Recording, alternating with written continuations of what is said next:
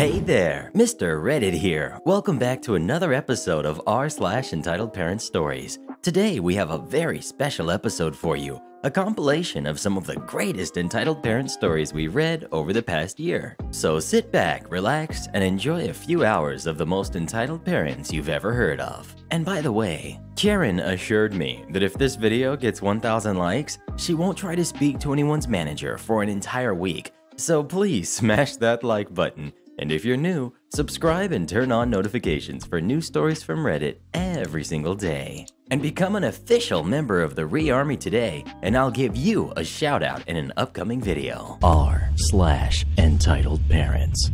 Entitled mom says I don't need a car, even though I have to work, then tries to take it. I'm sorry if this seems like a long rant, but I'm so furious right now. I need to get this off my chest. A little backstory. Right now, I am a student in college pursuing a degree in child development psychotherapy. This semester, I got an internship at a local mental hospital so I could get some experience and make it easier for me to get into grad school later on. The hospital I work at isn't just a facility for short term patients, though. Some of the people who live there are permanent residents, ranging in age from 6 to 78, for various reasons, but I won't name specifics out of respect for our residents' privacy. Basically, our goal is to do everything possible to help people recover from a mental illness slash episode and to provide a comfortable quality of life for our permanent residents. Needless to say, I deeply enjoyed my internship there. For now, all internships with the hospital were stopped until further notice, so I stopped going for a good three weeks and tried to focus on school. Then, one of my old bosses called me, in tears, telling me how desperate they are for help right now. Once she had finished telling me about the situation, I immediately begged her to put me back on the next week's schedule. She agreed, and I've been working there ever since. Now, I don't want to come across as arrogant or pretending to be a martyr or anything like that. In all honesty, I think I am very underqualified compared to someone with actual medical experience slash training. But I know that these people at this hospital are dependent on us for care, support, love, and help. And I refuse to just sit by and watch bad things happen to these people. Simple as that. Sorry, long backstory. On to the actual story. Ever since I started working at the hospital, my hours have been absolutely insane. There have been times where I spent 48 to 50 hours straight at the building. I eat when I can, I sleep at 3 hour intervals, so I can get up in the middle of the night and check on our residents and patients. I do my virtual lectures and homework while organizing patient files. As awful and maybe selfish as this sounds, I do try to get on my Switch around midnight and take care of my Animal Crossing town. I'm weak. Basically, I'm lucky if I'm able to spend 30 hours at my home. That's where our entitled mother comes into the picture. If you have read the edit on my last post, yes, it is the same woman. You already know this, but if you didn't, basically, she got arrested and subsequently lost custody of her son. Ever since, she has been absolutely desperate to get custody of him again. So she has been scrambling between family members, trying to acquire things that make her look like a responsible parent. Baby gates, child safety locks, a new fridge, a new bed, countless new toys. I could go on and on. However, she went to her dad, my stepdad, for the most expensive thing she needed a car. My stepdad refused because he was recently laid off because of what's going on, and we can't really afford to be buying something so expensive and not even be able to use it. I've been giving a portion of my paychecks to my parents to help ease the burden.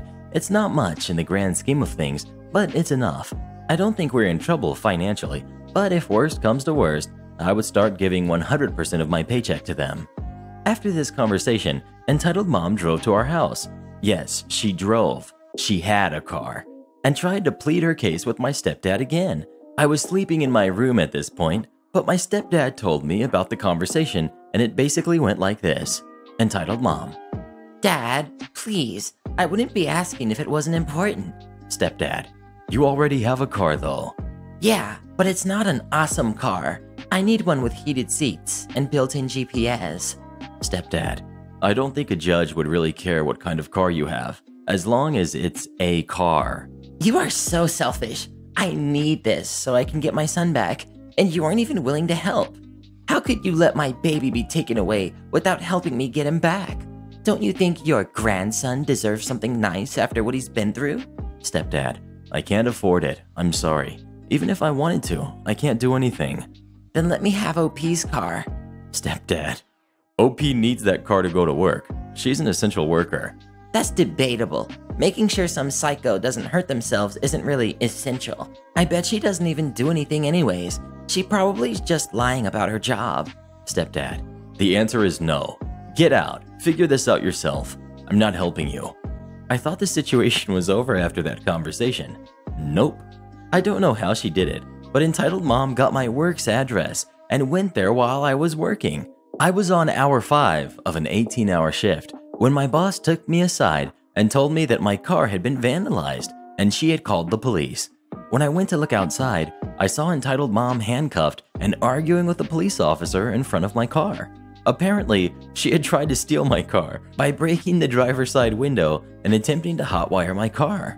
When she couldn't hotwire my car, she got out, broke one of my taillights, and keyed a word that I morally refused to even type on my driver's side door. As pathetic as this sounds, I started sobbing as soon as I saw the damage. Maybe it was the lack of sleep catching up to me. Maybe it was the shock. All I know is that I was gross crying in front of my boss, entitled mom, and the police. Entitled mom was yelling things at me, but I couldn't tell you what they were if I tried. I just went into autopilot. I gave my statement to police confirmed that I wanted to press charges, called a tow for my poor car, and took an Uber home. I honestly hope that was the end of her crap for at least a while because I don't think I can handle any more of her. Everything right now. I fixed my car as much as I could on my budget. I had an extra tail light, so I put it in. I put a trash bag over the broken window and I used duct tape to cover up the word she keyed into the door. Sure, it looks super ugly, but it still runs. I'm just thankful that she didn't cut anything important. The ironic thing is, my stepdad's family is talking about pooling money together so they can get me a new car. When my stepdad asked me if I had any preferences, I told him I wanted heated seats and a built in GPS. Oh, sweet karma. Bail hasn't been set yet on Entitled Mom, but all I know is that after this, she is not getting her son back. I'm happy for that though. That boy deserves so much more than she could give, and maybe now he will get it. Thanks for listening to my rant, you guys. Stay safe out there. Entitled cousin tries to take everything I have my car, my money, my boyfriend, and my entitled aunt is supporting her. Yup, you heard that right. My entitled cousin, who we will call Faith, tried to take away everything I ever had, and she loves my entitled aunt. Like, adores her so much that Faith would do anything to please her. She was very special, to say the least.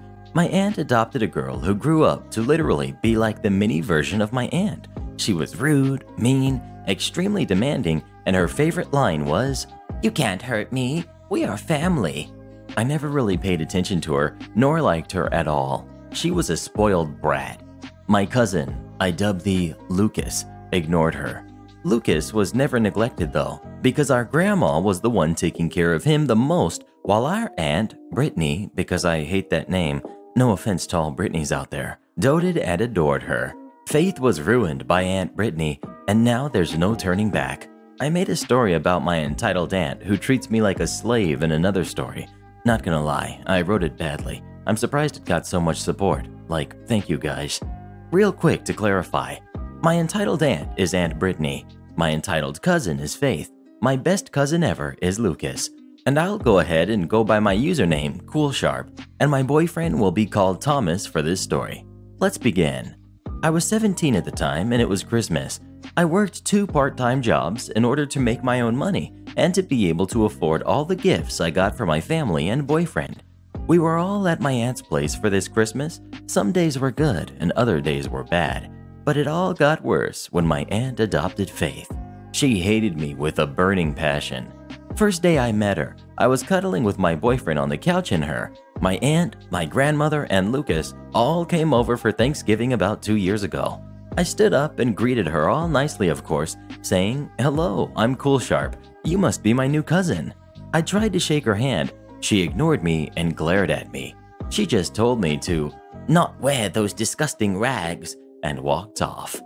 Now, Aunt Brittany spoiled Faith with literally everything.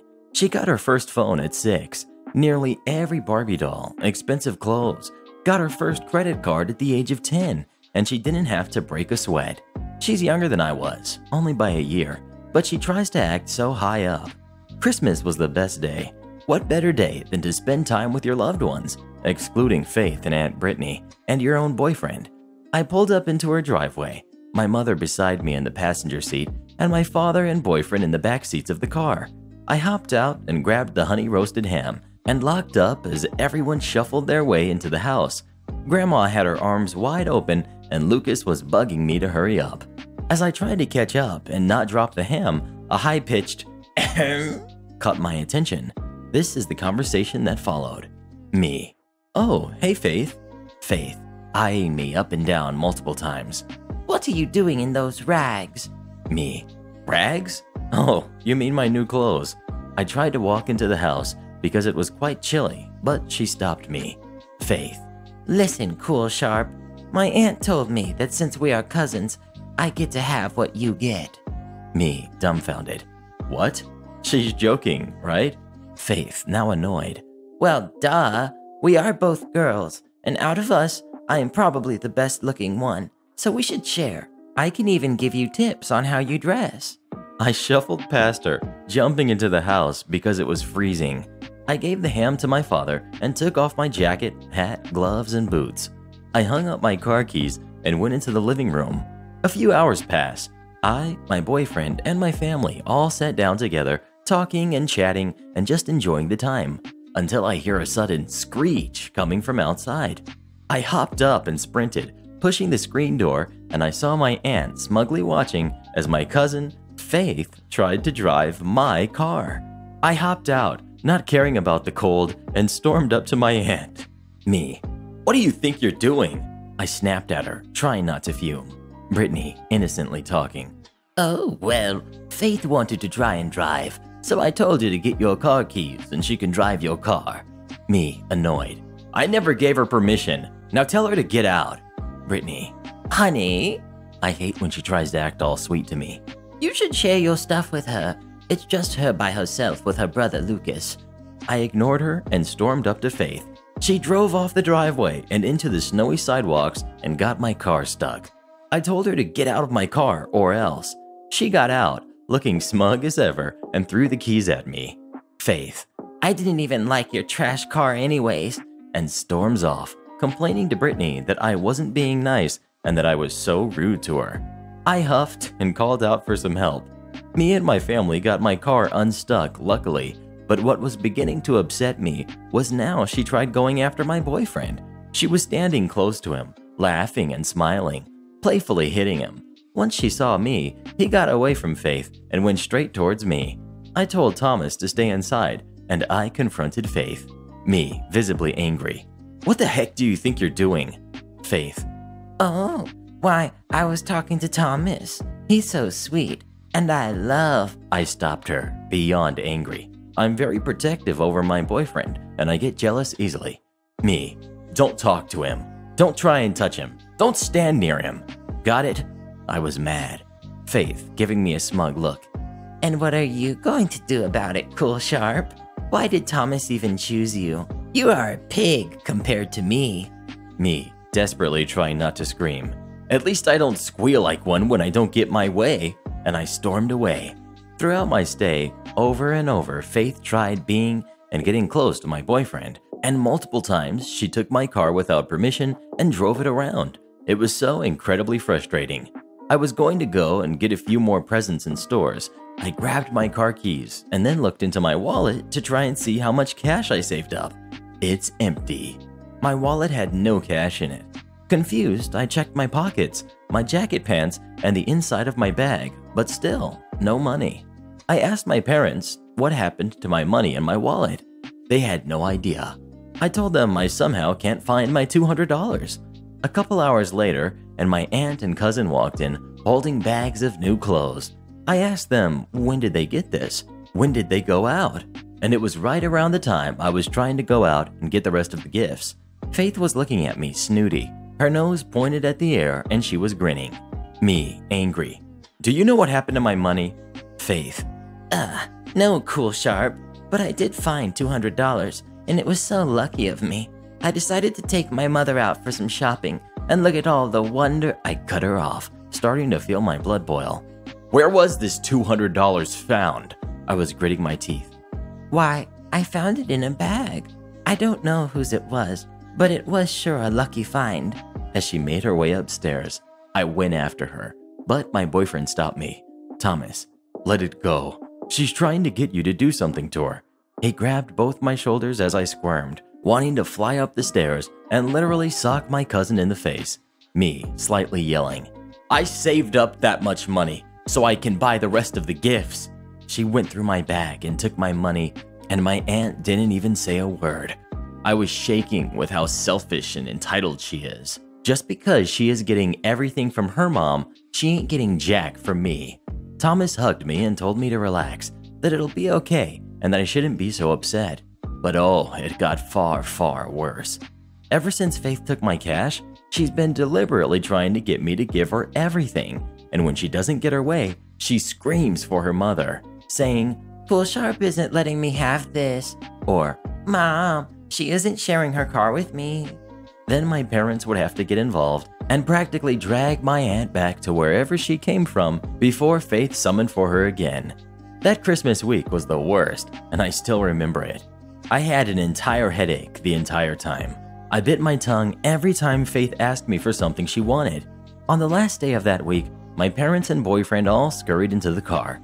I could tell they all hated the tension between me, my cousin, and aunt. I was the last one saying bye to my grandma. She was the sweetest thing during this time I was there. And Lucas, who instead of a cousin, I'd like to call a brother. He was there for me too. I made my way out before my aunt tapped my shoulder. Brittany, aren't you going to say bye to me and your cousin? Faith, How rude are you? God, I'm so glad I'm not you. me, just wanting to leave. Okay. And I walked away. I heard them spit rude things about me, saying how Thomas won't stay with me, how ugly and fat I am. You know, the usual girl bullying type of thing. I was sitting in the back of the car with Thomas as my dad was the one driving this time. As we pulled away, I saw both Faith and Aunt Brittany glaring at me.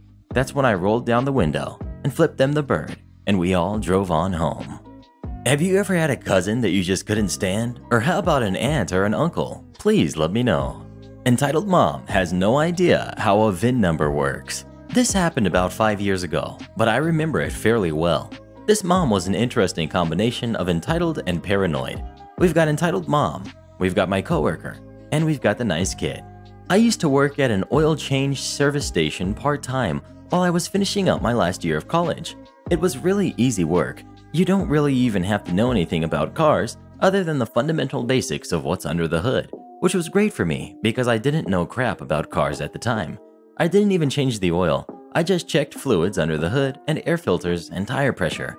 One Saturday morning, my coworker, we'll call him T, and I were just kind of sitting around as it was pretty slow when a car pulled. Finally, something to do. We pulled the car in, and behind the wheel is entitled mom, with nice kid sitting in the back seat. This woman looked a bit old to be the mom of the kid, who looked like she was about seven or so, so it could have been her grandkid possibly. The woman looked like she was in her 50s or so and had kind of hippie-ish looking clothes, jewelry, and dash decor. Nice kid is just sitting in the back seat, quietly reading a book. I stand at the terminal next to the car, smile at her, and go into customer service mode. Me. Good morning, ma'am. What can we do for you today? Entitled Mom. Just a regular oil change, that's all. Me. Certainly. Just pop your hood for me and we'll get started. Coworker starts looking under the hood while I pick up my scanner attached to the terminal to scan her vehicle identification number. For those of you who don't know, a VIN is basically like a fingerprint for a car that gives all the necessary information that anybody working with the car would need to know. Year, make, model, unique features, specs, parts, etc. The VIN wasn't on the dash, so it's most likely inside the door. Me. I'm sorry, ma'am. Would you mind opening your door for me so I can scan your VIN number? Entitled mom looks at me dumbfounded, as though I asked for a kidney. Excuse me? Your VIN number, ma'am. I need to scan it, please. I believe it's inside your door. Why on earth would you need to do that? Well, we need to scan your car into the system so we know what we need to service your car. Um, my car takes 5W30. That's all you need to know. Well, ma'am, we also need it for all the other necessary information to service the car. And besides, the system won't allow us to do the work without scanning the VIN. Well, what if somebody doesn't want to give you their VIN number? Coworker is looking at me from under the hood with an, is this jerk serious? look on his face, and I myself am starting to get confused and kind of irritated by this lady's unwillingness to cooperate. Thinking maybe she misheard me or something, I say, Ma'am, you do know I said VIN number, not PIN number, right? Big mistake. Entitled Mom. I know very well what you said. Don't get smart with me. Me. I'm sorry, ma'am. I wasn't trying to be rude. I just thought perhaps you misheard me. Entitled Mom, now in Karen mode. I do not feel comfortable giving you my VIN number, and frankly, it's bad customer service to coerce me into giving it to you. You're obviously new to customer service, so perhaps this is a chance for you to learn. Now, if you would please simply change my oil, and I'll be on my way, and I won't say anything to your manager. Me. Ma'am, we cannot work on your car without the VIN number. I told you, I'm not giving it to you. Nice kid. Mama? She said it with a long A at the end, kind of like a grandma nickname, so I think Nice Kid was her granddaughter. The man said he needs the number thing. Quiet, Nice Kid. What did I say about interrupting grown ups? Coworker emerges from under the hood, stifling his laughter while making eye contact with me, which makes me have to stifle laugh. Me. Ma'am, I promise you. Entitled Mom interrupts. I do not want my private information being compromised. My VIN number is linked to my address and other personal information, and I do not feel comfortable giving that to anybody at all. Coworker, who is still stifling his laughter. Ma'am, I assure you, your VIN is perfectly safe with us. We just need it to work on your car, that's all. Entitled Mom. But what if somebody hacks into your system? I'll be compromised. Coworker and I shoot confused looks at each other and can't hold back our laughter anymore. Why are you laughing? Me. Why would anybody want to hack our system? That's not the point. The point is, I don't want anyone having my private information. That's my right as an American. Coworker still laughing. Ma'am, you do realize that the place you bought your car from, your insurance company, and any auto shop that has worked on your car has the VIN, right? And probably quite a few other places. No, they don't. I didn't give them permission. Coworker and I now bent over laughing at this point, making entitled mom even madder. Me. I 100% guarantee you they do. Are you going to change my oil or not? I don't have time for this. Me. I told you, I can't without the VIN number. Fine, I'm taking my business elsewhere. I hope you know you lost a customer today, and I will be contacting corporate. That's fine, ma'am, but I guarantee wherever you go, they're going to need your VIN number. Just guide me out. Coworker guides her out of the garage and she squeals off. Coworker and I start laughing hysterically as he points to our smiley face sign at the exit door that says, Honk if you received great customer service, and says, Aw, oh, we didn't get our honk. Wonder where we went wrong.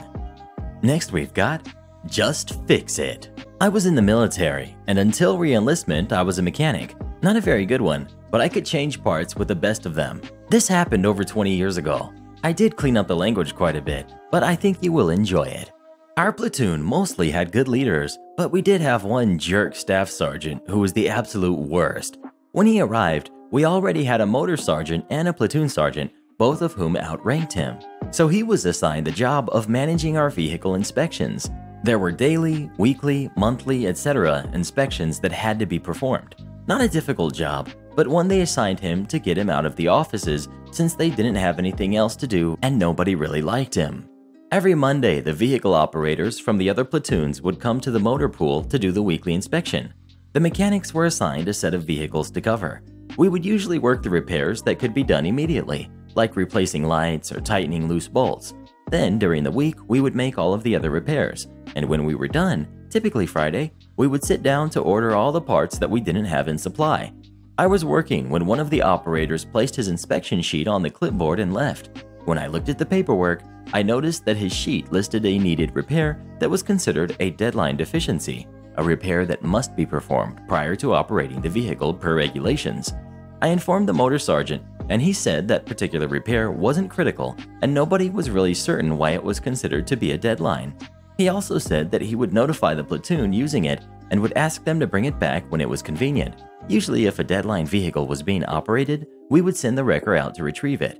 So I did my repairs on Tuesday and Wednesday and the vehicle still wasn't back. My work was very light that particular week, and I was done with all the repairs by lunch on Wednesday, so I sat down to order my parts. In walks Jerk Sergeant. He instantly begins berating me for being lazy. He then asks if my repairs are made. I tell him that all the ones I could make are, and he asks for the paperwork, which he flips through quickly. He notices the one truck, and the conversation goes like this Sergeant, is the repair complete? There's nothing written here. Me, no, but no buts. Go out to the lot and fix it. I don't want you doing anything else until it's done. Me. Yes, Sergeant. Our motor pool had assigned spots for each vehicle. I looked through the manual for the size bolts for the particular part, grabbed the appropriate wrenches, and headed out. I laid down in the vehicle's assigned spot, raised my wrenches, and pretended to turn them. I lay there for an hour and a half wrenching air. Operators and mechanics noticed me, but didn't say anything. Several had heard the conversation and laughed a bit.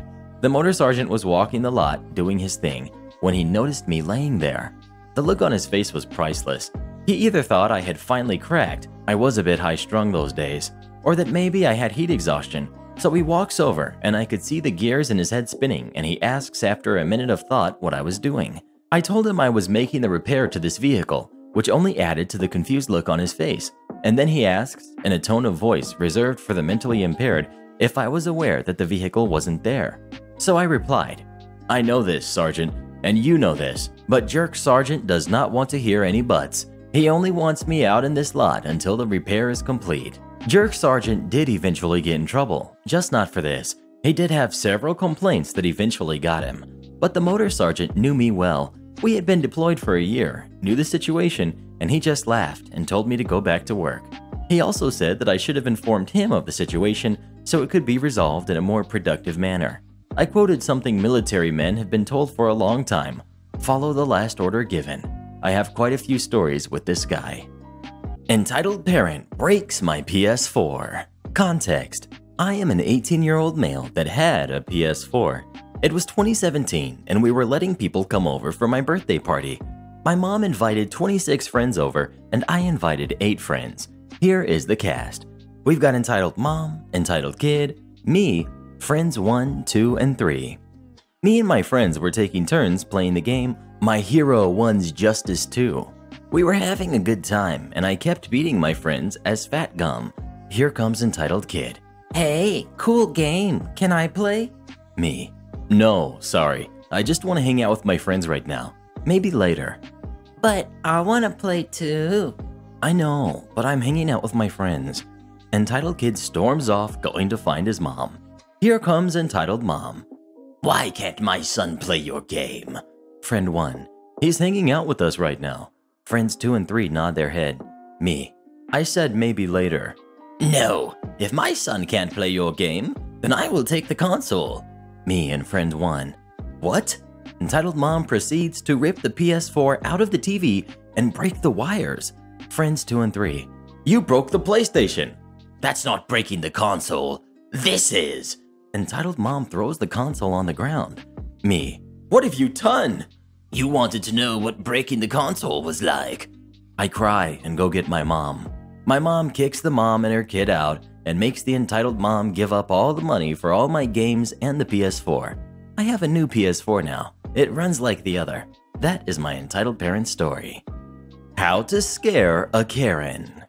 After a couple of weeks of not leaving my house and needing some groceries, I threw on an old baseball cap, hadn't fixed my hair for a while, and ventured to my closest Costco. Being early, the line to enter was short, and I was able to get in, grab the stuff I needed, and get in line to check out. However, the line to check out was not short. The store had established two lines approaching the checkout tills. An employee would direct you to the next till open when you reached the front of the store. The end of the lines, however, stretched back to the back of the store. I got in line and everyone was being very nice and keeping the prescribed distance apart, and we were behaving in a civil manner.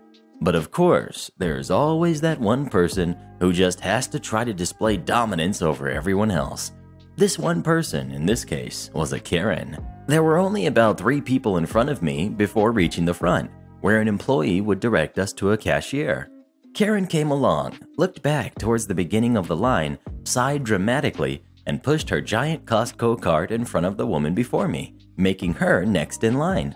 The lady in front of me pointed out to her that the line started in the back of the store. Karen ignored her completely. A couple of others in line also called out to her that the line was back there. Karen ignored them. Finally, the employee directing traffic came over and told her that she would have to move to the back of the line. Karen finally spoke. I spend a lot of money here. Like, we all spend a lot of money at Costco. And I'm in a hurry. What's one more in front of them anyway? They've already waited this long. They can wait a few minutes more.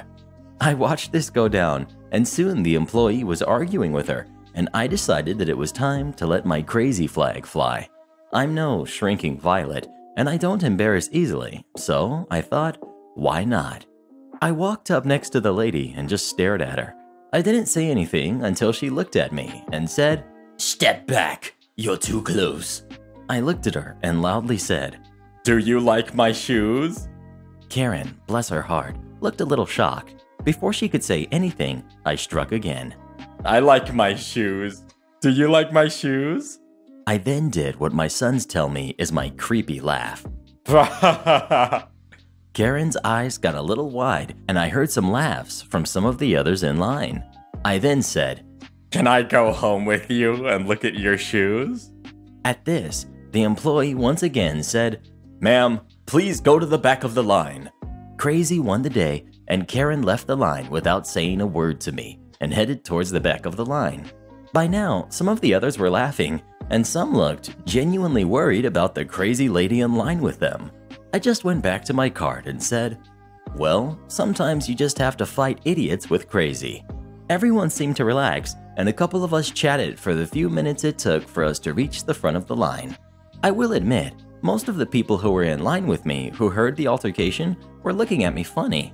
But hey, it's not like they could recognize me because of the ball cap and mask. Geez, I love freaking people out. Being old has its perks. Karen says she can control my hobbies. Cast. We've got entitled mom. We've got me. We've got a nice kid. We've got entitled kid. My mom and my younger brother. This one is a long one. I love movies and have posters on the wall, movie spaceships on the ceiling, and merchandise everywhere. Sorry for the flex. I also make home movies, most of which are not exactly PG. So my mom's friend and colleague, our beloved entitled champion, comes to visit with her nice kid and her whiny entitled kid for the afternoon tea. Entitled kid goes off with younger brother and nice kid sticks with me. He asks if I had made any other home movies. I show him this 50 minute mockumentary movie, a comedy movie pretending to be a documentary, about the daily life of a crowded lodge in which I play a lot of characters. Dylan Brown, a stay at home dad, Reginald McFilly, a wannabe detective, Rebecca Mason, a failing movie star, and Larry Johnson, an author who plagiarizes novels. It has quite a few swears. Nice Kid is laughing a lot and says it's good. Then, Entitled Kid and younger brother come through, just minding their own business, and see us. Entitled Kid. What's that? Me. It's a home movie I made. Can I see it? I don't know. I don't know if you should. If your mom gives you permission, you can. It has some language in it. I did not know if I should have shown him my movie. I didn't want his Karen mom to get mad at me for doing so. Entitled Kid. Come on, it can't be that bad. Nice kid. Entitled Kid, he said no. If you want to watch it, go ask Entitled Mom. Okay. He goes off to presumably ask his entitled mom for permission to watch. Younger brother starts watching with us. A moment later, entitled mom storms in with a smug entitled kid. Why did you say to my son that he can't watch your movie? Me. I didn't say he couldn't. I just said he might need to get permission from you to see it. Why can't he just watch it? It's just a movie. It has some language in it. I skip to a bit where I know there's some language. Entitled mom looks horrified as she hears it. How dare you show this to me and my kid? You are disgusting. What kind of idiot with no life are you That you spend your spare time making these. I am silent. I do not take insults well, and I have a ready tongue and can't stand entitlement. I shoot nice kid a this will be fun look. I stand up and get nose to nose with entitled mom. Me. I told you that it had language. It's your little goblin's fault for not knowing the word no, and your own fault for not listening to me when I told you. Entitled Mom recoils and counterattacks. How dare you talk to your elders like that? I am telling you to delete that tape and never make any other movies again. Me. You can't tell me what to do. You can't control my hobbies. Yes, I can. You are a kid, and I am an adult, so you have to listen to me. Okay? Kids should be appropriate, and if Nice Kid were to make those vile tapes, he would be disowned. I can control your hobbies because I am an adult. Now delete those vile movies, and you will never make one again. Me. Again. You can't tell me what to do. And this movie alone took four months to make. I had to script, make costumes, and buy props, filming and post production, and hours of my time. So I will not delete this movie. It's like you've never done anything in your life, riding my mom and everyone's coattails to take partial credit and earn money, and you're just jealous that a 16 year old can achieve more than you. I do everything at work. Okay, you don't have to delete your movie, but Entitled Kid wants your movie camera. Now, my camera is an expensive one and cost me just about $750. But Entitled Kid looks excited about this and says the cringiest thing ever. Yeah, then I can film videos of me playing Xbox and upload it to YouTube. I can't help but laugh at this, and so does Nice Kid and younger brother. Entitled Kid goes red. It's not funny. Better than your crappy movies. Me. Oh, look, I've corrupted Entitled Kid. Yes, high five, younger brother and Nice Kid. Mission accomplished. Entitled Mom looks shocked. You have corrupted my kid with your disgusting films. Entitled Kid, Nice Kid, we're going. And she leaves. Mom is very confused when we say Entitled Mom has left. Nice Kid texts me later that night saying that Entitled Mom lectured her the whole way home about movies being nasty and evil and that only Disney is alright. Later, me and younger brother said we were planning a sequel to that movie with a new character called Karen. Thank you for reading. I hope you enjoyed it. Guy tried to buy my service dog. A bit of backstory. I have a wonderful service dog named Simon. He's with me for psychiatric assistance and helps keep people away from me, so I don't hurt them and they don't hurt me or cause more panic when I have breakdowns and interrupts me if I do self destructive behavior, like scratching at my arms and legs is a mild example. I also just generally feel safer with him when I go outside. There are a few people that I'm afraid of in the apartment complex for good reason I won't get into. And he is fairly protective of me if someone suddenly grabs me. My boyfriend and I trained this into him due to the aforementioned people.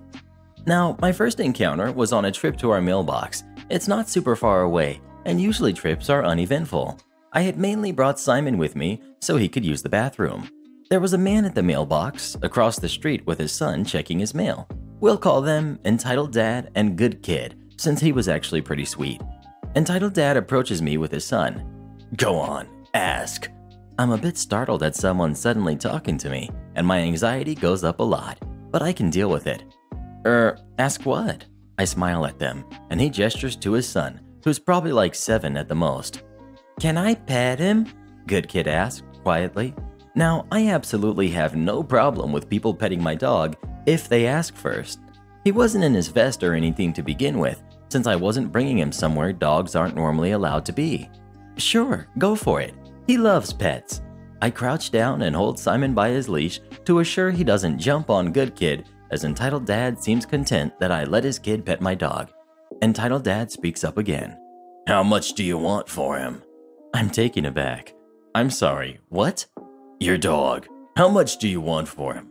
Good kid really likes him, and he seems great with kids. Is he housebroken? How old is he? Is he up to date on shots?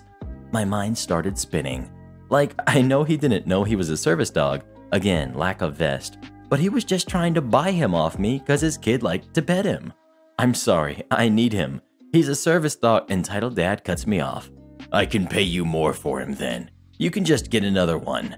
Now, Simon is, as I said, psychiatric. I trained him myself for nearly two years to react to my particular triggers and tics. Not that I would ever sell my best friend, but if I did, it would take way too much time and money to train another dog for what I need him to be able to do. I'm sorry, No. I stand up, and Simon walks back to my side, facing the two people. I guess Good Kid wasn't really listening as he just said goodbye to my dog, but Entitled Dad wasn't done trying. He stepped closer, and I panicked. I didn't want him to grab me. I'm very small and thin. So I dropped down and did my best to fake the signs I was having a breakdown, at least physically. Simon put himself between me and Entitled Dad and Good Kid, just what he's supposed to do. Entitled Dad still reaches for me, and Simon growled quietly at him. Nothing aggressive, just a low and quiet growl telling him to stay back. When he does this, he has the tendency to tuck his ears back as a further sign of non aggression. This set Entitled Dad off. Your mutt tried to bite me. He absolutely did not. I don't know how in the world a growl is an attempt to bite, but I kept myself hunkered down as Entitled Dad went on. I'm calling the cops and animal control, and I'll have that dog euthanized. He grabs Good Kid by the arm and drags him off to the apartment block across the street. I get up slowly, making sure Entitled Dad isn't going to come back and to make sure he isn't trying to be sneaky and see what apartment I go to. I hurry back inside, and I guess he never called either place because nobody ever showed up to talk to me or take my dog. I haven't seen or heard from Entitled Dad or Good Kid since. I know that's not like a super satisfying ending, but it was still a pretty scary run in. Owner at print shop confuses me for a technician. Background information. Until recently, my business was still giving out wedding videos on DVD. The DVDs were labeled with custom stickers that had to be printed for each client. These had to be imported into Photoshop, positioned correctly, etc. The guys running the printers at this particular shop just never seemed able to master this skill, and usually, as soon as they finally did, they would leave or get fired, and the process would restart. By the third time this had happened, I had started teaching the printing guys how to do it, which usually meant that I just ended up doing the job myself while they watched, and as soon as they tried doing it themselves, they'd mess it up again. As I was a regular that had been coming there for about 8 years and seemed to be the only person that could get my orders right anyways, the manager and I eventually came to a mutual agreement that when I came in, I could just go use the computer in her office and set it up myself because it would be quicker and would cost the shop much less than all the stickers they were wasting from her guys doing it wrong. This was perfect for me and went well for many months. A trip that had usually taken over an hour would now take only about 5 minutes. So one day, I had just sent my order through to the printer and I was standing by the machine waiting for it to print. When the owner walked up to me and started telling me that the printer was still getting jammed all the time. Please note, the owner and I had spoken countless times before he usually even came out to greet me when I entered the shop. I assumed he was telling me this because he feared my order might get stuck, but I was dead wrong. To his initial explanation, I had just smiled and said, That's good to know. He exploded on me, telling me that's not good enough and asking me what I was planning on doing about it. At this point, I thought he was accusing me of having broken his printer, and I just stood there dumbstruck. My expression changed when he mentioned how much he pays me. Wait, what? I asked. Suddenly, the manager came running out of her office yelling, Boss, he doesn't work here. The owner responded with, What? That's OP. He comes in here every week, almost for the last eight years, the manager said, looking super confused about how he had forgotten who I was. As she was saying that, the actual printer technician came out of the restroom. The owner looked at him, then looked at me, looked at him again. We looked absolutely nothing alike, and then suddenly grasped that I wasn't the technician. Well, he shouldn't be back here then, the owner said sheepishly as he returned to his office. The manager apologized profusely to me, and I just laughed it off. I guess she did get in a bit of trouble for our deal though, because the next week she told me that she couldn't allow me to do my own printing anymore, and so we had to go back to the old way of her guys doing it themselves and getting it wrong on their first five or six tries. I wish to apologize to all the trees that were wasted while these guys tried to figure out how their own programs worked. No running for me. This was towards the end of my time in my unit and Pig's time in the Army. I was changing duty stations, PCS, and Pig was getting out of the military, ETS. We had one buck sergeant who wasn't a great leader. He was promoted because he could kiss some butt like it was an Olympic event, and he was going for the gold. Also, this one, Sergeant P, we'll call him, was promoted in the unit after everyone knew him. It creates an interesting dynamic when you're promoted and placed back in your unit. While everyone must follow your orders, everyone knows the things you did when you were a specialist. It just makes it difficult to earn the respect of your once peers and be an effective leader. And let's be honest, most people are not natural leaders, and it takes time to develop those skills. Many of the newly promoted sergeants had a difficult time adjusting. Rather than leading, they tended to throw their stripes around. And to top it off, Sergeant P wasn't even great at his job. I mean, I was one of the weakest mechanics in my unit, and he was worse than I was. With a few weeks left in service, Pig started out processing. There's a bunch of stuff to do for this, one of which was the out process physical. Pig did this as early as he possibly could. Any disability claims are based off that physical, so if you were to injure yourself during physical training, this would not be in the report. So, no physical training after the physical. Now, Pig was not an immaculate soldier. Like me, he threw the uniform in the dryer and brush shined his boots. Pig was a fantastic mechanic, though. He was one of the strongest mechanics in our unit. He could also drive anything with wheels and was assigned to the wrecker. He was the guy everyone went to when they had an issue that they couldn't figure out. So, Pig did his physical and was sitting out physical training. A few days after the physical, Sergeant P comes to Pig and tells him that we have a battalion run and that everyone is required to participate. Pig informs him of the situation and politely tells him that running ain't in the cards. Sergeant P gets belligerent and begins yelling and cursing and just in general letting Pig know where he stands rank-wise. Pig at first just calmly repeats himself until he gets angry. Sergeant P was off the handle at this point. Pig has finally had enough and yells, Forget you! I ain't running. A couple days later, Pig is a private E3, disrespecting an NCO. From what we heard, some of the senior NCOs in the platoon were pushing P to just drop the issue and they would speak to Pig to ensure it wouldn't happen again. After all, Pig had been invaluable to our unit during deployment and he would be leaving the military shortly. And they all thought that Sergeant P was kind of in the wrong. I mean, Pig did get out of hand, but he wasn't wrong about the run. But Sergeant P was having none of it. He wanted to make sure that all of the other lower enlisted would know not to speak to him in that manner. I'm not sure you can call this maliciously complying with a demotion. I do. But Pig sure had some fun being a private again. Whenever Pig was asked to perform one of the more complicated tasks, his response was, I'm just a private. I have no idea how to do that. The motor sergeant asked him to do something one day. Pig gave his response in the most private like voice he could conjure and just stared at the motor sergeant. The motor sergeant was staring daggers at Sergeant P, who suddenly had some official sergeant duties to attend to in his office and scurried off like a little rat. Pig did continue running the wrecker, and he spent most of his days just sitting there waiting for a call or performing routine maintenance on his truck. Nobody really bothered him much. Aftermath. This is the funniest bit. I changed duty station shortly after this. My new motor sergeant was a good guy and a fantastic leader.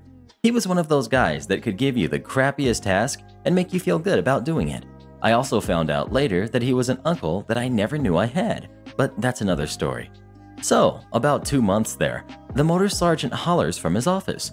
Apparently, I have a phone call from someone in my previous unit. What the heck is this?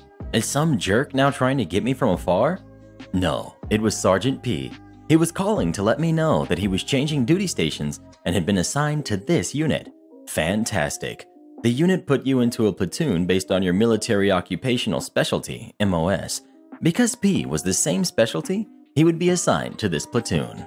He had called the motor sergeant's phone number, so I had taken the call in his office. The motor sergeant asked me about it, so I told him. Then he asked more questions, and I told him all about the story with Pig. I was dropping dimes like a cheap slot machine. After spilling all the beans, the motor sergeant sat back and thought for a minute, then asked a single question. Can he fix a truck though? My response, about as good as I can. He told me that was enough and dismissed me. A few months later, P walked into the motor pool and came over to chat with me.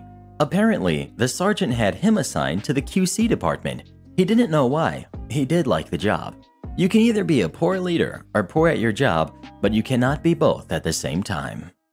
Make me stay late and yell at me? No, I will not break policy. We've got me, the store manager. We've got the staff member working. We've got entitled mom and entitled kid. I was working as a store manager for a medium dress for less retail store. We carried mostly clothing and home goods. Due to being short on managers, I was closing the store that day and had to open the next day. 8:45 p.m. announcement. The store will close in 15 minutes. Please make your way to checkout. Customers started heading up to the front. 8:55 p.m. I noticed one lady with her daughter is still shopping with a basket overflowing with items. Announcement. The store will close in 5 minutes. Please make your way to checkout. 9 p.m. She's still shopping. Announcement. The store is now closed. Please make your way to checkout. The lady started to walk towards the front to check out, I assumed. I had to wait for her to check out before I could close out the registers and figure out the money for the day. So while waiting, I went to the office to quickly send some emails. At around 9:10 p.m., I walked up to the registers and began to close the registers. I finished up quickly in about 5 minutes. I quickly put the money back in the safe area and walked out. Walking by the fitting room, I hear voices inside. There were only two other employees on the sales floor, and I could see both of them straightening items. The fitting room attendant was sorting clothes to go back to the sales floor. Is somebody in the fitting rooms? I asked coworker. Yeah, I think so. I told her that we are closing, she responded. Hello, the store is now closed. We are getting ready to lock up soon. We open at 9 a.m. tomorrow. I hollered back into the fitting rooms. Soon after, a very entitled lady and her daughter came out with a lot of items, picked up her basket of stuff, and said she was ready to check out. I'm sorry, but the store closed almost 20 minutes ago. We are open in the morning. I let her know. No, my daughter and I need to buy all this right now, entitled mom declared to me. That is not possible. The registers are closed, and we are about ready to head home and shut down the store, I politely told them. That is BS. They always let me shop at this time. This is unacceptable, she yelled at me. The store is closed. You can come in the morning to shop if you'd like, I responded assertively. Fine. Then I demand you hold all of this for me until the morning. I will be back when the store opens to get it, she told me. Now, due to us being a discount type store, we do not hold items as we do not regularly get the same items. It is a company policy. I'm sorry, but due to corporate policy, we're unable to hold your items. We open at 9 tomorrow, and if you are here, then I'm sure they will still be here, I reminded her. What? No, these are my items, she demanded. They are the store's items right now, but tomorrow morning they could be yours, I let her know. Now, I need you to please leave. My staff and I would like to go home. This is stupid, and you are awful. These items will be waiting for me here tomorrow, and I demand to have your store manager waiting so I can tell him how horrible and stupid you are. I will be here at 9, she told me. The store manager will be here in the morning, I told her, smiling politely. Entitled Mom stormed out, kid in hand, grumbling and griping the whole time. It was late and we were all tired, so we all got our stuff ready, armed, and left the store. I get there before any staff normally to get the money ready for the day along with my paperwork while it was quiet. I made sure to spend the extra time that morning to put the basket of items away on the shelves and racks spread through the store. Petty, I know, but it felt amazing knowing she might come in. At about 11 a.m., I was up near the front talking to the morning staff, and I saw entitled mom storm in, already looking mad. I watch her not even look at us and walk straight to the fitting room. Shortly after, I get a call on my earpiece from the fitting room attendant that a customer is asking for me. I stroll back, a professional look on my face, calmly ready for the storm. I get back there, and entitled mom looks mad. She sees me and says, No, I asked for the store manager, not some supervisor. Ma'am, he is the store manager, they told her. She gasped in anger. How dare you put my things back? I told you I was coming back for them, she said to me, her face now red. And I let you know last night that we cannot hold items due to policy. It has to do with the nature of our store, I inform her. So where are my items now? They better all be here still. I told you I was coming back, she demanded. The retail merchandise is all on the sales floor. All unpurchased items get put back, I said. I can assure you, they were here when we opened, but I do not know about now. Entitled Mom huffed and started walking around, stomping and huffing. She ended up finding some of what she had from before, but made sure to make comments to the cashier about how she could not find all of her items and she would never be coming here again. If only, right? I did see her other times, but she went out of her way to never talk to me or acknowledge me, which was fine. You have to date him. Backstory My mom and Entitled Mom were really close and pretty much best friends. Entitled Mom has a son, let's just call him N. So N and I grew up together, so I thought of him as a brother. The idea of dating him never crossed my mind, so this ended up happening. I was around 16 when this happened, and he was 17. I had just changed schools because entitled mom insisted. In her words, my friends tried to peer pressure me into getting into trouble, which wasn't even true. She also insisted that I moved to N's school, which I hated from day one, since I was the new girl and no one really talked to me. It was at this time that N became more comfortable with me. He would often put his arm on my shoulder as we walked around school and hugged me constantly. So the day came when N asked me out, but I said no. That's when Entitled Mom interferes. I arrive home after school the same day, and Entitled Mom was there, and this conversation goes down. Entitled Mom, Why didn't you accept? Me, What? Just like that, she starts screaming. You know he likes you. Why didn't you accept when he asked you out? Me, I'm sorry. I just wouldn't be comfortable dating him. He's like a brother. N enters the room crying. How could you have done this to me? Entitled mom. Look, you made my son cry. You need to date him. He likes you. Me. I'm sorry, but it's my business who I date. How dare you? If you continue like this, no one will ever want to marry you. Me. Marry? I'm sorry. I'm only 16. How could I be thinking of marrying someone? You're being irrational, and I hope you realize your mistake. Then she walks up to me and slaps me.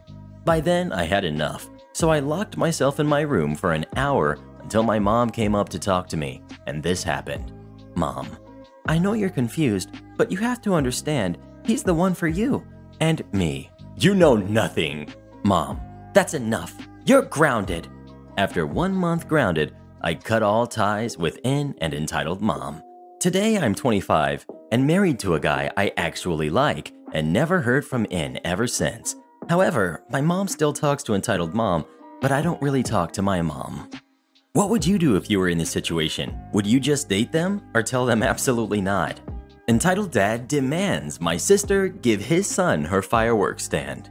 This story happened a few years ago, so I might not remember exactly how it went down. Let's meet the usual cast. We've got the entitled dad, the entitled bratty kid, who is about seven. We've got G, my sister. We've got my dad and my stepmom. Well, most of my dad's family live in a city in the countryside of my state. I live in the capital. We were all there for my cousin's 15th birthday. It's a really big thing around here. It was mostly a pretty fun trip. Me, my dad, stepmom, her kids, and my siblings were staying at one of my dad's aunt's place. The party started around 7 p.m. and it was freezing, about 3 to 4 degrees Celsius. There were more than 1,000 people there. The main attraction was the barbecue, made with an entire cow of 200 kilograms from one of the relatives' farm. We had a great time, ate a lot, danced, and acted like kids. The party went on. My cousin arrived. She was gorgeous. Danced with my dad, who was not only her uncle, but also her godfather. My dad later told us that there were going to be fireworks. I immediately get excited. I went outside and they started to set them off. My sister was holding a fireworks stand, the ones made out of cardboard. She was 20 at the time, but always seemed younger. Then approached a man, obviously had been drinking. He was about 35 and he had his crying kid with him. Before he reached us, he let go of him, crouched in front of him, and said something that made the kid immediately stop crying and his eyes sparked with excitement. The guy left the kid about 5 meters away from us, and obviously, they were our dear entitled dad and entitled kid. The stand my sister was holding was out, so she outed it down. But there was more. Entitled Dad. Hi. Sister. Hi. Entitled Dad. So, what's your name? It's G. You know, it's very dangerous for a kid to be holding fireworks in your hands like that, don't you? Sister. Kid? Ah, okay. Thanks for your concern, but I can take care of myself. You should let the adults handle it. You know, only people older than 18 can buy those. Give it to me so I can launch some. Sister. Uh, I'd rather not. These are mine. The guests were notified to buy some if they could. Come on, I just want to give it to my kid so he'll stop crying. Will you deny my kid's request? She looks over the entitled dad's shoulder and sees the kid standing there. She makes an expression of shock. Sister, you used the argument that only older than 18 can use these. Now you want me to just give it to your kid, who obviously looks like she's seven? Like you are older than 18. You look 16 tops. Just give me the fireworks. He then proceeds to push her out of his way before she can say something and try to grab a firework on top of our car. I slap his hand before he can reach one. He backed down in disbelief.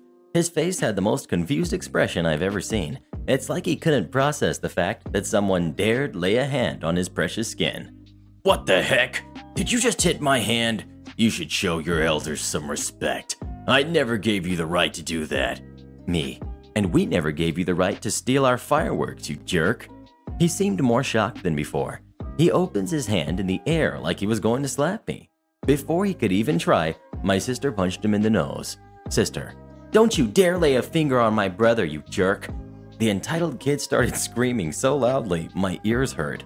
My dad and stepmom saw the commotion and came rushing towards us. My dad, Hey, hey, hey, what the heck is going on here? These two brats were launching fireworks. It's dangerous. I tried to warn them, but she punched me in the face. He said while holding his nose and trying to calm Entitled Kid down. Entitled Kid, I want it, I want it. He was desperately shouting while rolling on the floor. My dad, first of all, she's 20. Second of all, OP wasn't launching crap because I forbade him to. What happened? He said, looking at my sister this time. Sister, this guy just randomly appeared and tried to take our fireworks so that his kid could launch them. When OP tried to stop him by slapping his hand, Entitled Dad was going to slap OP, but I punched him first. Entitled Dad. Lies! She assaulted me. She and that spawn there. Their kids trying to rob my fireworks. Oh, now the fireworks are his, huh? Stepmom. What?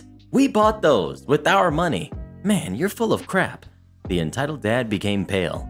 He was cornered now. My dad. Hey, entitled kid, why are you crying? Entitled kid stopped his tantrum for a while and said, Daddy said I could hold the fireworks. He said while crossing his arms and frowning. My dad. Well, would you look at that? I'm going to ask you to leave or I will call the cops. Entitled dad. Who the heck are you to talk to me like that? You think you have authority here? You made my kid cry. My cop cousin will hear about this. I'll throw all of you in jail. Do you have any idea who I am? My dad. Well, do you have any idea who I am? No.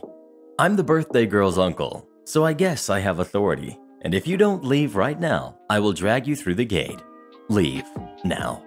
Entitled Dad opened his mouth to say something, but gave up. He grabbed his kid, who was still crying, and signaled to a lady in the entrance of the saloon to go with him. I suppose it was his mom. They left and the party continued normally until the end of the night. We still talk about it to this day and just laugh our butts off. You represent this school wherever you go. Before I start, I used to work at a preschool that was at a church. I had a horrible time there and was only there for four months. I ended up quitting because of my health, but this story played a part in it. I had just gotten off work and it was still pretty early. I had gotten off around 2.30 that afternoon and decided to run to Target, the closest store was Target, and get some cat food.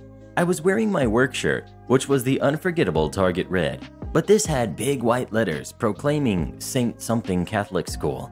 It took me a while to get to the cat food because I'm not familiar with the layout of this Target. I finally get to the cat food, see the food my kitten eats, and I'm just about to leave when I spot Karen in all of her glory with her cart loaded with groceries. I shoot past. She looked at me and grabbed my arm. She looked me up and down, and I guess she failed to notice the big white letters and only saw red and said, Can you get the dog food for me? I'm in a hurry. Me. Uh, no, I'm sorry. I'm in a hurry myself. I have to go and get my dog from the groomers. A total lie since she was getting groomed next week, but usually this works. But I saw you get the cat food. Me. Yeah, I have a kitten at home, but I have to pick up my dog. But you work here. You have food. Me. Look, if you read my shirt, you would see that I don't work here. I show her the shirt, and I hope it makes a connection with her. Nope. You work at a church, which means you have to help me. Me, growing tired. Ma'am, I have to leave. I would like to go and get my dog and feed my cat. Goodbye. But right before I leave, I hear her say, I will speak to your boss about this. I leave, thinking nothing of it, though part of me was worried that she would call my boss. who we shall call Joe, because she was one of those people who believed we represented the school no matter what we did off the clock. The next day, I go in at 7 as usual, but as I walk in, I hear Joe call my name. Joe. Hey, Maggie, come in for just a second. I walk in feeling my nerves start to wake up. I know just what is about to happen. I walk in and see Karen, though I don't really pay attention to Karen as much as the fact of who she was. Now that I see, I know she's not a parent, since the preschool is pretty small, with only 20 to 30 kids. I know most of the parents' names and faces, and I know for certain that Karen was not a parent or even a grandparent that came sometimes. Maybe she was a church member, I don't know. Joe is sitting at the desk, and I see Karen sitting in one of the seats. Joe, thank you for coming to see me. Miss Karen, now I understand you met Maggie last night at the store? Karen, yes, I did. She was rude and refused to help me. Joe turned to me next. Maggie, is this true? Did you refuse to help her? Me. Joe, this happened after I got off. I had to go home to get my dog from the groomers. I hated lying to my boss. I heard Karen scoff at this. Joe. Now, Miss Karen, I am not responsible for my workers for what they do when they are not on campus, but we do have a motto. Here at Saint Something, it's Matthew 5:16. In the same way, let your light shine before others, so that they may see your good works and give glory to your Father who is in heaven. Do you understand, Miss Karen? We encourage our teachers and students to be the hands and feet of God. This being said, I do believe that Maggie should have helped you. She does represent our school. As Joe was saying this, I was dumbfounded. How could Joe agree with this lady? Karen smiles at Joe. Joe, Maggie, this is a warning. If I hear of anything like this again, you will be written up and let go. Do you understand? I nod as if I was in the Twilight Zone. I kept thinking, can you really be fired for what you do off the clock? Is this even legal? Karen smiled, got up with a crap eating grin, and walked out the door. I look up at Joe. Me. Joe, were you just saying that to make her happy? Am I really in trouble? Joe. Well, part of it, yes. I do expect the teachers to set an example for others. What you did was very unlike Christ. You should have helped her. Me. Really? Yes, really. Now go to your class. And that was the end of that. I got so mad for the rest of the day, I could barely stand the kids. So, yeah, this is one of the reasons why I left. One of the many reasons. If this happened to you, would you keep working at the school or would you quit? Karen tried to get me fired by claiming I charged her for more than she was supposed to pay. Okay, so this was a while ago, back when I worked at a water park. It was a very hot day, and I'm working at the tube stand. My job is to sit at my station behind a cash register and ring up people for rentable, inflatable tubes that they can use for the day. We have both double tubes, which is a figure eight looking inflatable tube with holes in the center that you can put your legs through, and we have single tubes, which is just a donut shaped tube. Fast forward a few hours, we had sold out of all of our double tubes and only had a few single tubes left, and my shift was almost over. I'm sitting there, minding my own business, and then a mom and her two kids come up to the stand. Entitled Mom, Hi, could I get two double tubes? Me, Sorry, ma'am, we've sold out of all of the doubles a while ago. I can rent you out the last singles we have, though. She just looked shocked, like I had just insulted her two kids, who, might I add, were burning their feet on the hot concrete. I tell them to stand in the shade next to me, which they do. What? No, I need the double tubes. My two kids want to share one, and I want to ride one with my husband. Now, I had already dealt with crappy customers before her, so I was already kind of in a bad mood. Me. Listen, I physically can't give you double tubes when we don't have any. Well, I don't care. I know you have some double tubes left. Me. I can show you the back if you want. That'll prove it to you. No, I want my double tubes. She pulls out her membership card and she's a Diamond Elite. It's a high tier for members of this park. See? I am a Diamond member and I need my tubes. Me. Sorry, but I can't get you these tubes. Fine. Give me the singles, but only charge me for two doubles. Usually, I'm not allowed to do this. I only did it to customers that I liked, and I certainly did not like this lady. Me. Sorry, ma'am, I can't do that for you. I'll get fired. Well, why does it matter? It's basically the same thing. I'm not doing that, I say as I ring her up. Ugh, fine. Whatever. I ring her up, and I finally think it's over. Oh boy, was I wrong. Now, where I am stationed, guest services is to the left of me. This lady legit goes to guest services and starts yelling about how I charged her for four doubles instead of four singles. I am absolutely shocked at this lady. A supervisor comes up to me and says, Did you charge her for four doubles instead of four singles? Me. No, I did not. She was complaining about not being able to get two double tubes, so she bought four singles. Entitled Mom is behind the supervisor as she's speaking to me, and she has the most crap eating grin on her face you can imagine. Me. Look, I'll pull up her receipt for you. I press some buttons on the monitor, and her receipt pulls up, saying she bought four singles. Supervisor. Alright, sorry for this. She goes up to Entitled Mom and says that she paid for the four singles and not four doubles. Entitled Mom just gets so furious and starts yelling about how I didn't give her the Diamond Elite discount. Ironically, if she would have used her Diamond Elite discount, she would have gotten four singles for almost the same price as two doubles. The supervisor tells her that she should have thought of that before she purchased the tubes. Entitled Mom is defeated and leaves, and I get to go home. What a lovely day. Don't tell people how to do their job if you're an idiot. So, backstory I used to work at a factory who suffered severely under a director who wanted to make more money with little idea as to how to run a factory or how to see through people trying to BS you to gain favor. One person in particular was notorious for sucking up. When I started, he was the boss for about a third of the production unit, and as it happened, he was also the guy who took over whenever my own boss needed time off, was out liaising with other companies, or otherwise wasn't on company grounds. This guy had a massive superiority complex and couldn't handle being wrong or having made a mistake. And just to make it better, he was also clueless about quite a lot of things outside of the machine shop, where he was the boss. Safe to say, my partner and I really disliked him and made an active effort to work against his stupidity whenever he was our acting boss. So, as for the story itself, my partner and I made up the company's goods reception and quality control department. Basically, our job was to receive the goods and inspect that everything was in order, correct amount had been delivered, no transport or production damage or mistakes, and then prepare the things for storage. But as you might expect, sometimes things weren't quite in order. Some things were unimportant and we just ignored them. Most things we send in to get them repaired, since most mistakes were fixable, and then send a bill to the contractor who were hired for the job. And a few things we discarded because they were broken beyond what we could repair. And this particular idiot was allowed to greenlight things that my partner and I had sent in to get repaired. So one day the director comes out with the head of productions behind him, wanting to know why a particular type of good from a particular contractor always gets sent in for repair, and I do mean every time. And we explained that because Purchase opted to use the cheapest place to get things done, he wasn't happy with that explanation and wanted to get someone who knew of such things to have a look at it. Cue Mr. Idiot himself, who takes one look at them and goes, Oh, those? Those are perfect. Right as they're supposed to be. And director tells us to just send them on their way. My partner, a fairly temperamental guy, was furious, but we made a plan. And so Idiot and director left, but head of production stayed behind.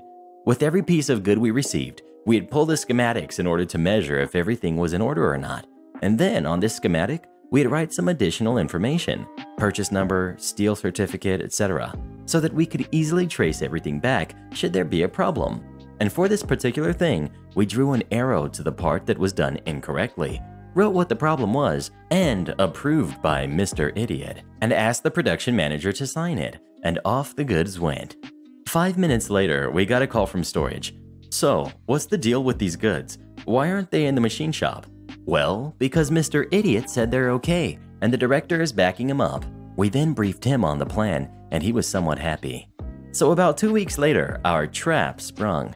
Our assembly unit, whom I'd already spoken to, needed these particular parts, and they received the ones that weren't made correctly, so they of course contacted their boss, who, according to plan, didn't contact my boss since he was away, but the director himself, about how quality control had really messed up. Of course, the director came flying over, howling and screaming about our incompetence, to which my partner and I calmly asked him, So, it's about those specific parts, creating this particular problem? Well, yes, you morons. The director then called for Mr. Idiot to come and straighten us out. Mr. Idiot stood there, all smug, expecting his next big promotion, but we called storage and asked our storage worker to bring up the pallet with the remaining goods and the schematic that had a very neatly approved by Mr. Idiot, signed production manager written on it.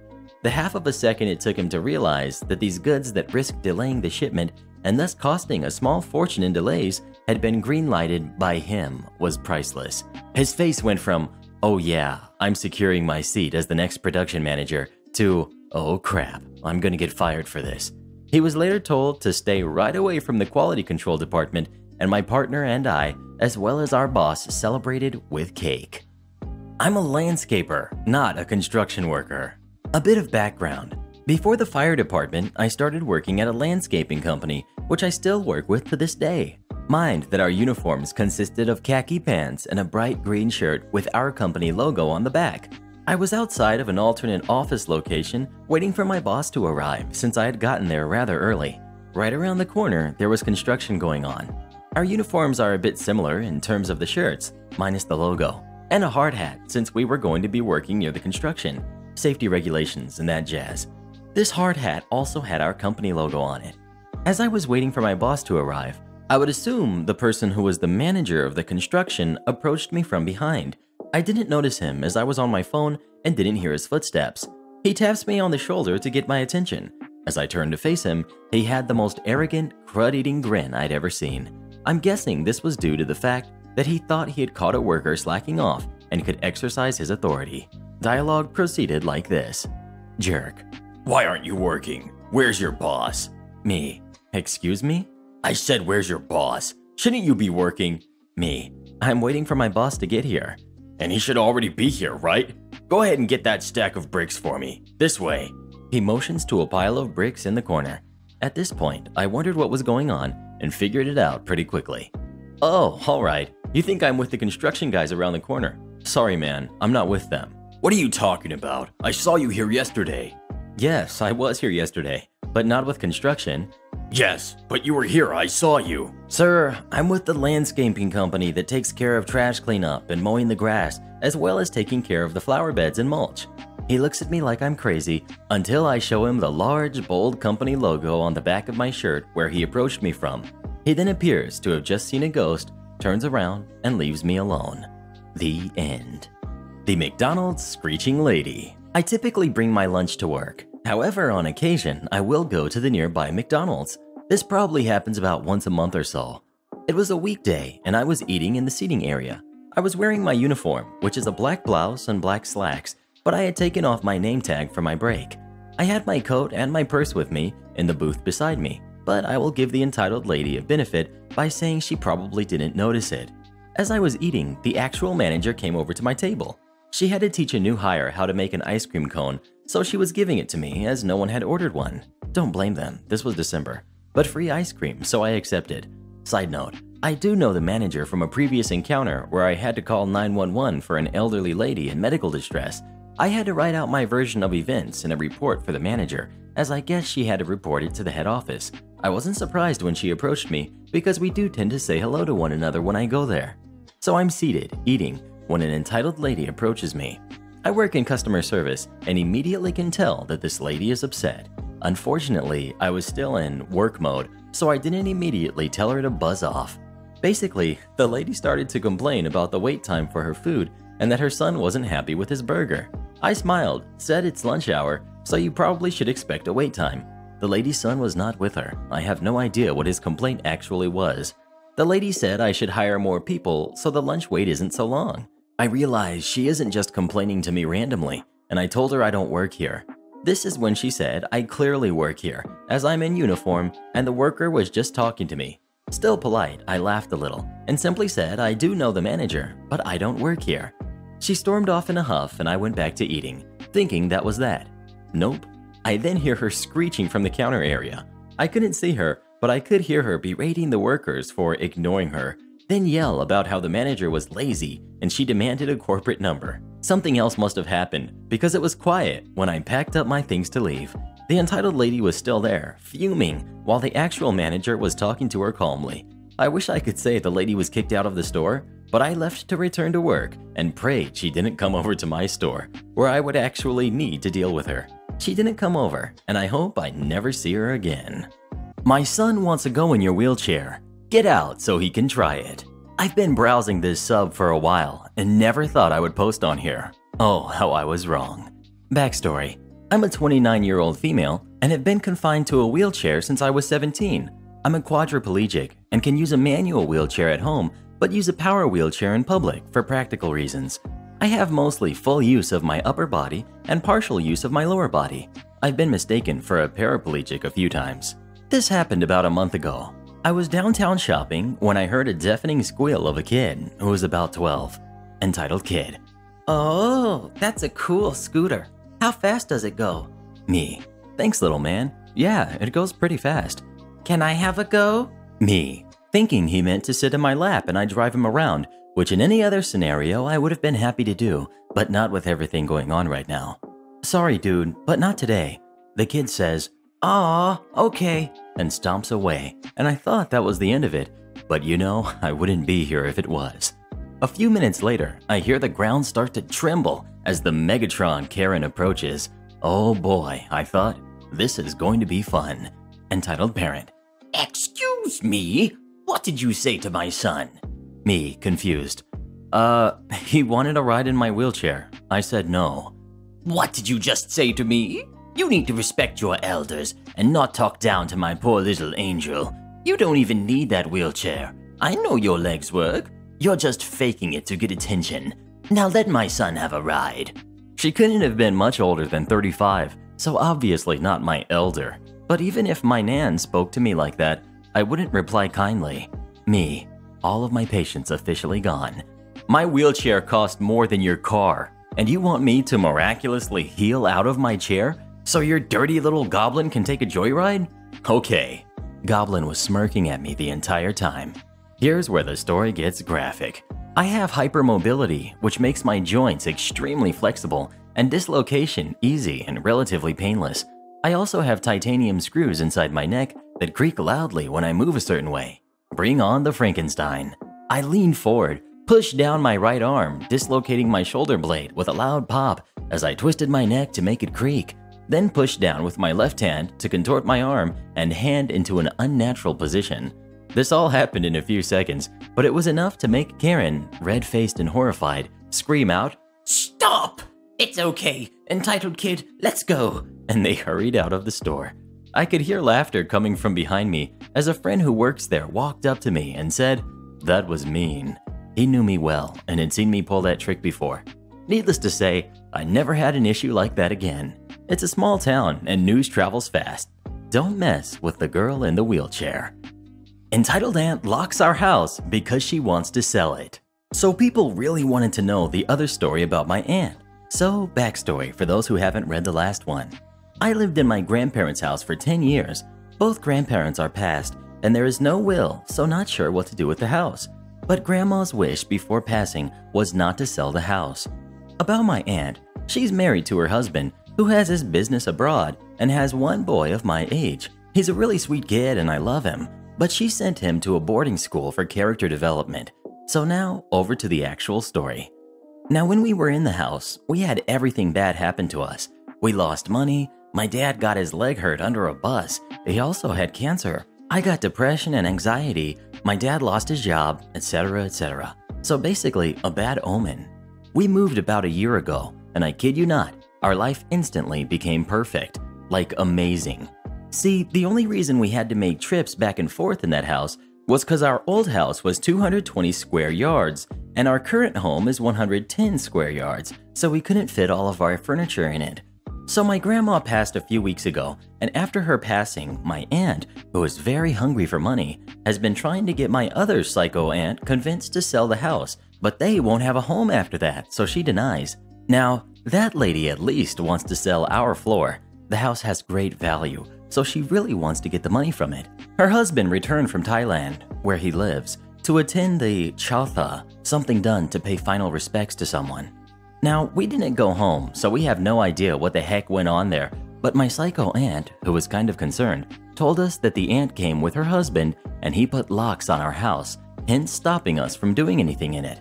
We had to get new stuff for our new home that we're gonna move to in May and wanted to keep those things in that house because we have no space where we're living.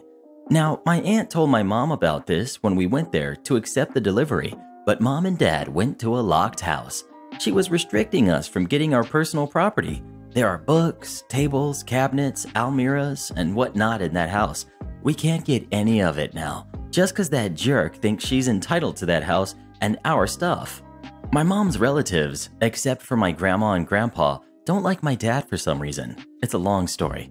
Now, let me tell you what. My dad is the sweetest human being I know. He's there to protect us. He handles whatever insults my mom's relatives throw at him. He works really hard for us. He gives us every luxury, even in dire times and whatnot. I don't know why they don't like him. He's such a nice man. I literally had to protect him at my grandma's funeral so that no one would say anything to him, and I was ready to fight if anyone did. Anyway, my dad didn't get angry or anything, but simply said this When we'll be able to move out, we'll take everything and never come back ever again. Everyone agreed. Now, we had totally let this go because we know how crazy of a person that entitled lady and her husband are. But about a week ago, my mom received a call. My friend usually called at the time, so I thought it would be her, but it was the aunt. She had been drinking and was saying some senseless things. Here's how the conversation went Aunt, I have filed a police report against you, and you'll get arrested if you try to break the locks. Me, that doesn't make any sense. We have just as much a right as you do over that house. Aunt, you and your husband will not come near that house, and stop telling Aunt 2 crazy stories about not selling. Me, realizing she thinks I'm my mom. We're not saying anything to her. You're insane. And your husband, I will make him pay and he will suffer. At this point, I have had enough and just want to make her shut up. I have no respect for her now, and I just went off. I have never ever said anything bad to her before, but yeah, me. Okay, now I can't take it. If you ever call here again, you will face consequences. You are no longer welcome to call here, and I will straight up block you. So here's the thing my sister is the kind of person who has had to shut this woman up a lot of times, so she thought I was her. My sister's 23. She calls me by my sister's name. You jerk! Give the phone to your mom. This instant. She is my sister, and I have a right to talk to her. Me. I'm OP. You just swore at a kid. Aunt starts stuttering. No, you're lying. You can't be OP. I know it's not. So she has a very sensitive ego, and the thought of being told off by a kid just broke her. Me. It is me. And now don't ever call us again, you idiot. Bye. I disconnected the call and blocked her. I don't know what scene will be created once we break the locks, but my mom and dad were proud of me for what I did. The fact that I was the one who said all of this broke her completely. Dad was really angry that she swore at me and said I did good by not stooping to her level. Also, I was talking in front of my mom, and even though she knows I swear, she's never heard me do it, and I don't want to scar her. Entitled parents think they own the ski lift at a major resort. Long ago, when I was but a wee lad, so, like a couple of months ago, I was skiing with a friend at a resort quite close to my home in the vastness of the universe. But that is besides the point of this story, so I will dive right into it. My friend and I had decided to take a break from our studies at our university and go on a pleasant ski trip. What fun! We had skied most of the day with fair weather, fresh snow, and a few lift lines. Unfortunately, there is one lift that is cursed. For lines plague this lift each and every hour of the 8 hour ski day the dreaded T bar, the terror of the beginner skier. Anyways, we pizza stopped our way to the back of the line and waited our turn like any pair of gentlemen would. During this wait, I glanced at the sign in the queue ahead and noticed it said alternate in very large red letters. This sign is of great importance to the story, so please take note.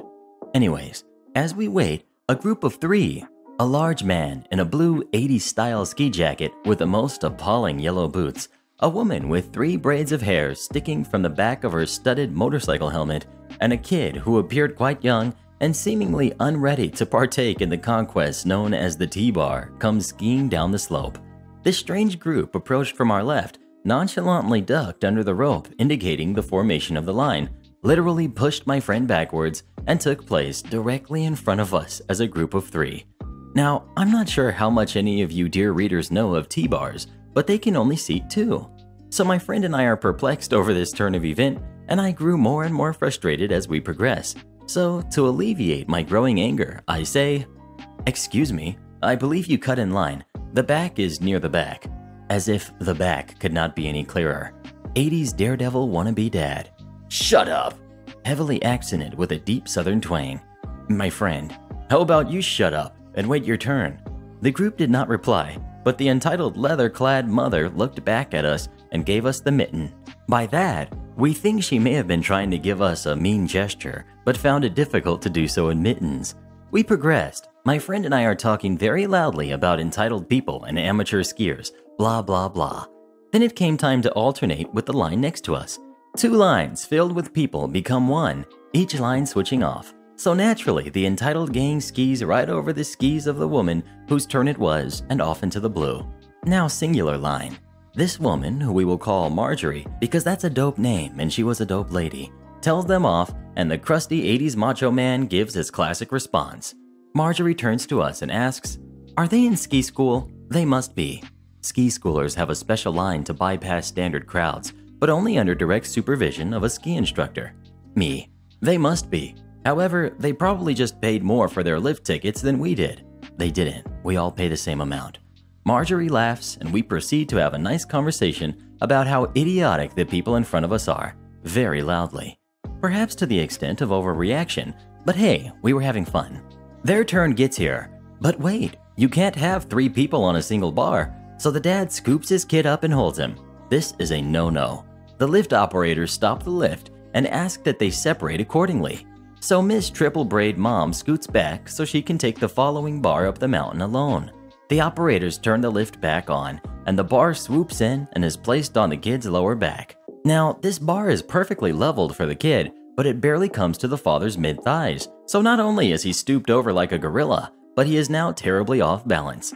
The woman catches our bar just fine and seems comfortable, but as the hunchback of Mississippi, aka the yellow booted cookie monster, is carried up the mountain, his position looks more and more precarious. It is worth mentioning, at this point, my friend and I are securely holding onto the bar and being carried up the mountain behind Marjorie and her companion.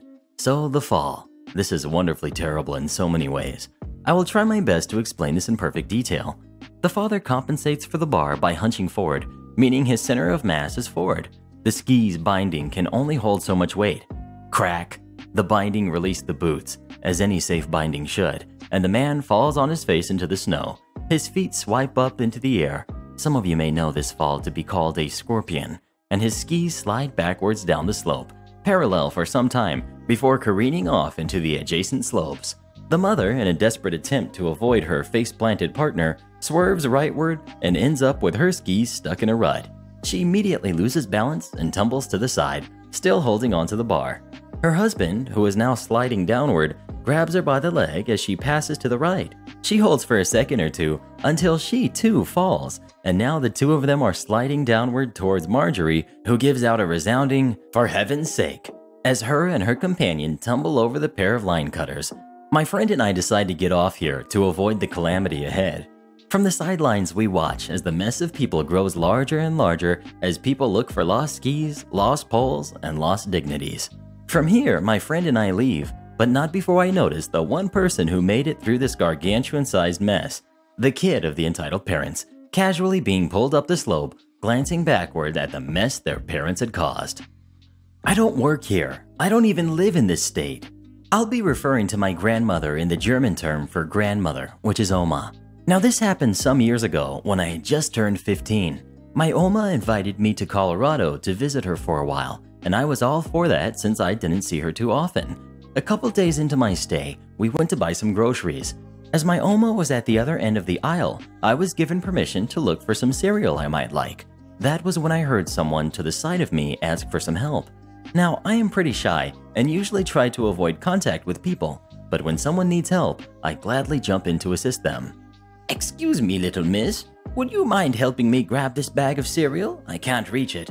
A little old lady got my attention. Sure, no problem. Now, I'm not considered amazingly tall. I'm just above average at 5 foot 5, but this lady was barely 5 feet. Just to reach the bag of cereal, I had to stand on my tiptoes and reach for it, but I managed to get it down and helped her put it in her cart.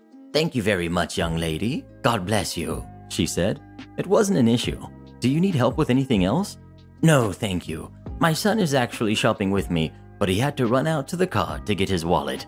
Okay then. I hope you have a wonderful rest of your day. I wave her off before turning around to go back to my Oma, who was still trying to make a decision whether to buy one thing or the other. It's been a while, so I can't remember exactly what she held in her hands. Then suddenly, a rough tap on my shoulder prompted me to turn back around. My eyes met with this middle aged lady who was wearing workout gear. She shall be named Karen, as it is only right in this sub. Excuse me, do you know where the ice cream section is? Karen said. Seeing as I've only been following my Oma around and not paying attention, I could only respond, Um, I can't think of where it is. I haven't been here before.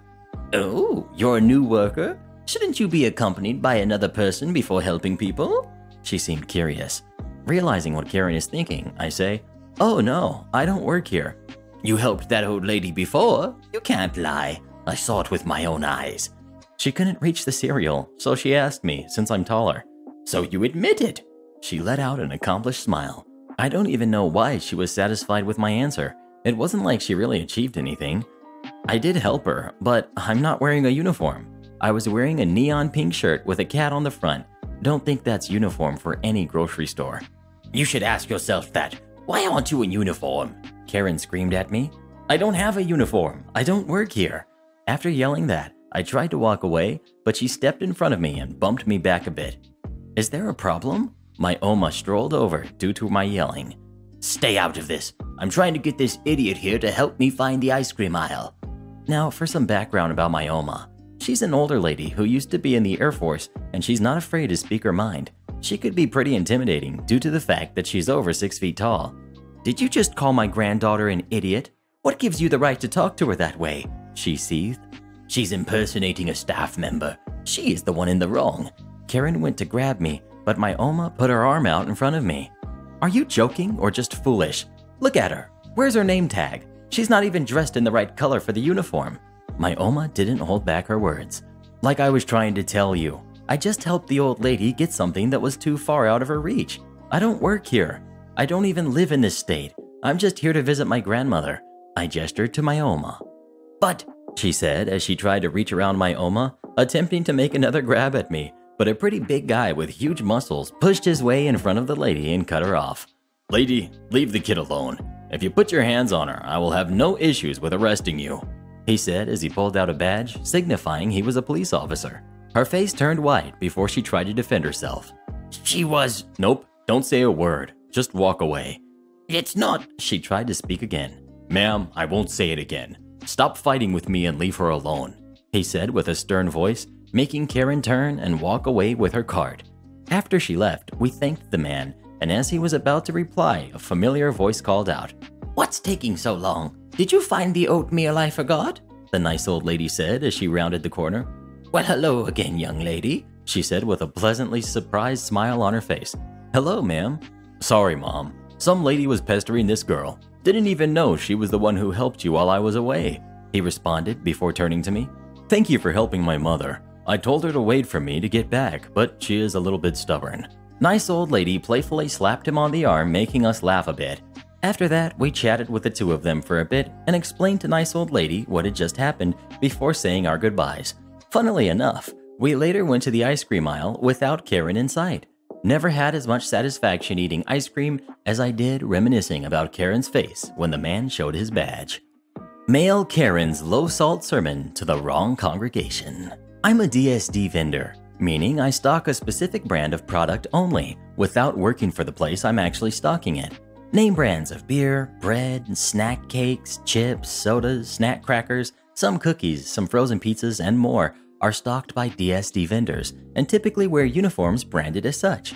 I get mistaken a lot for someone who works at any of my route stops. Most of them are just oopsie mistakes and they move on, no biggie. Some people, however, seem to perceive this information as irrelevant.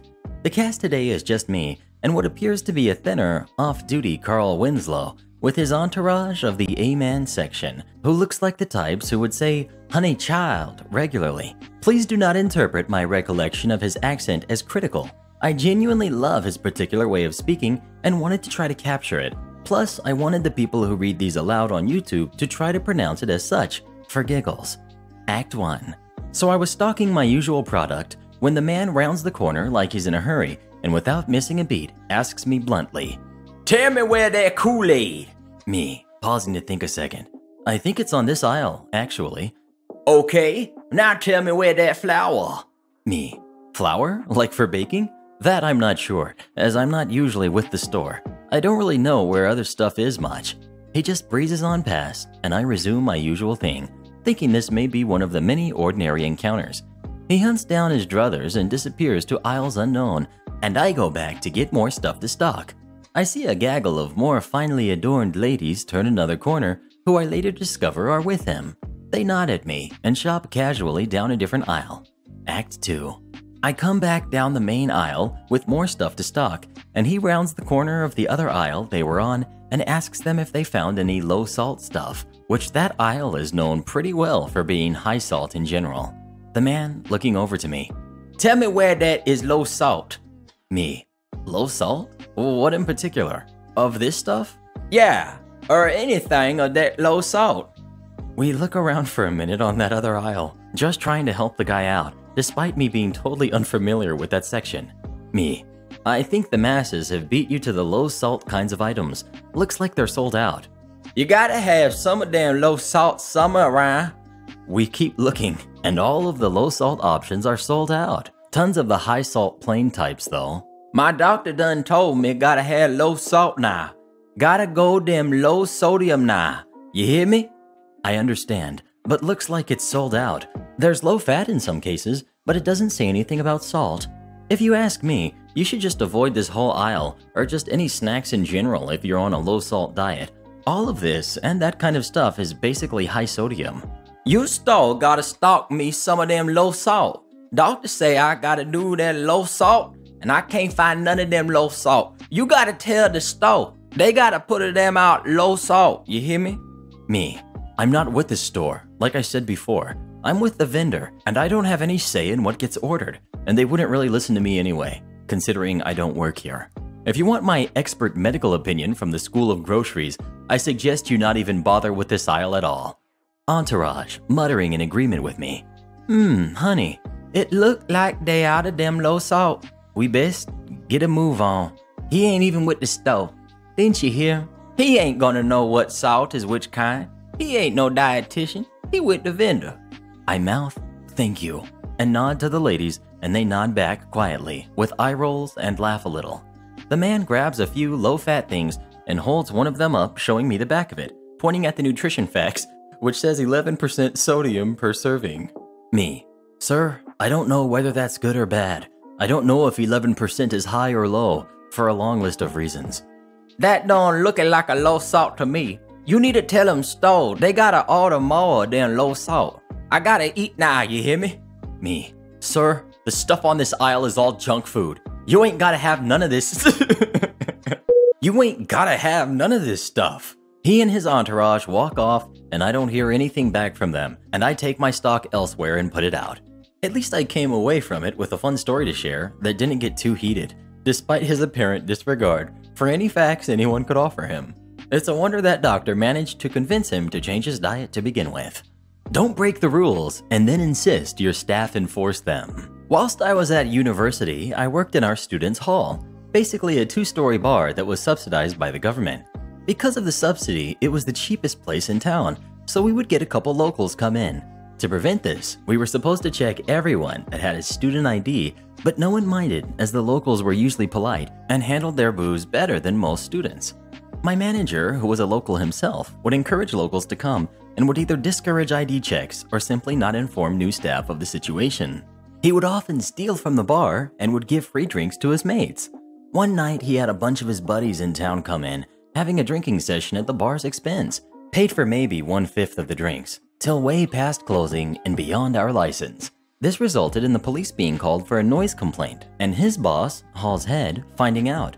To cover his butt, he claimed that the groups were locals that we, the bar staff, had happily allowed to stay, and then fudged the accounting for the night to make up for the free drinks. Because of this, he himself demanded we check every student ID, and the head took away some of our employee perks. The Sunday after this all went down, the pool tournament guys come in. These guys rotate which bar they go to every week between a list of maybe six that have enough pool tables and lounge space. I personally had served them a half dozen times. They make their way over to the bar, and the first guy is well in his 40s. Me. Hey man, before I can serve you, I have to see your student ID. He chuckled and said something along the lines of, Do I look like a student? and proceeded to order. Me. Look, I'm sorry, but I've been told that if you haven't got a student ID, I can't serve you. He started to realize I wasn't just messing with him and looked at the other member of staff who reiterated the point. Him. Are you serious? We've been coming here for two years. Me. Yeah, sorry. Manager is cracking down on the only students rule. I can grab my supervisor for you if you want. My supervisor was also a student and explained the situation. Said he was sorry for the inconvenience and that if they had any complaints to call the head, my manager's boss, and even gave out a couple of his cards that were in his office. The pool guys left, which meant no one was really in the building, so we ended up closing early.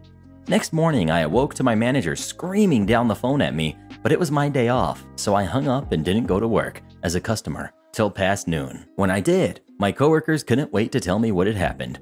My manager had come in and had a shouting match with my supervisor in front of everyone, grabbing a morning coffee. The head had indeed received some complaints and scheduled a meeting with the manager that morning. Not wanting to face it alone, he took my supervisor with him, I imagine intending to throw him under the bus as much as possible. The head was upset. A, because all these 40 something men had called to complain on his personal number on a Sunday. B, because these 40 something men, by their own admission, had been coming here for years at the invite of the manager, whom they knew well. My manager tried to save face and claim they were associated with the university, that they were in fact lecturers, that it was the bar staff's failing to check for student ID all the time, and then turned on my supervisor, saying he had given them a bad reputation, cost them money by turning them away, and closing early as well as laying bare every other mistake he had ever made.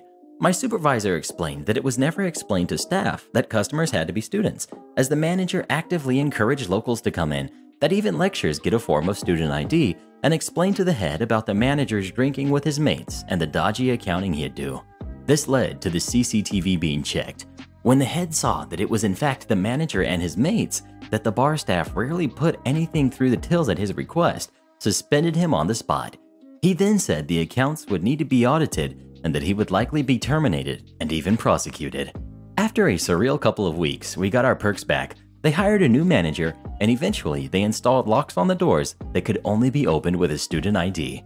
No idea what happened to the old manager, but by no means a loss. Entitled Mom tried to sue my grandma for her house. My grandma had four kids, all were girls. My mom is one of the four, and Entitled Mom's mom was also one of the four. My grandpa passed and left everything to my grandma. My grandma has a will that divides everything equally to each of her kids, my three aunts and my mom. Entitled Mom's mom, my aunt, passed away. Entitled Mom has four younger siblings, and she's the eldest, and my aunt's inheritance it included my grandma's current house. Entitled Mom and my grandma both live together. Entitled Mom is a horrible person.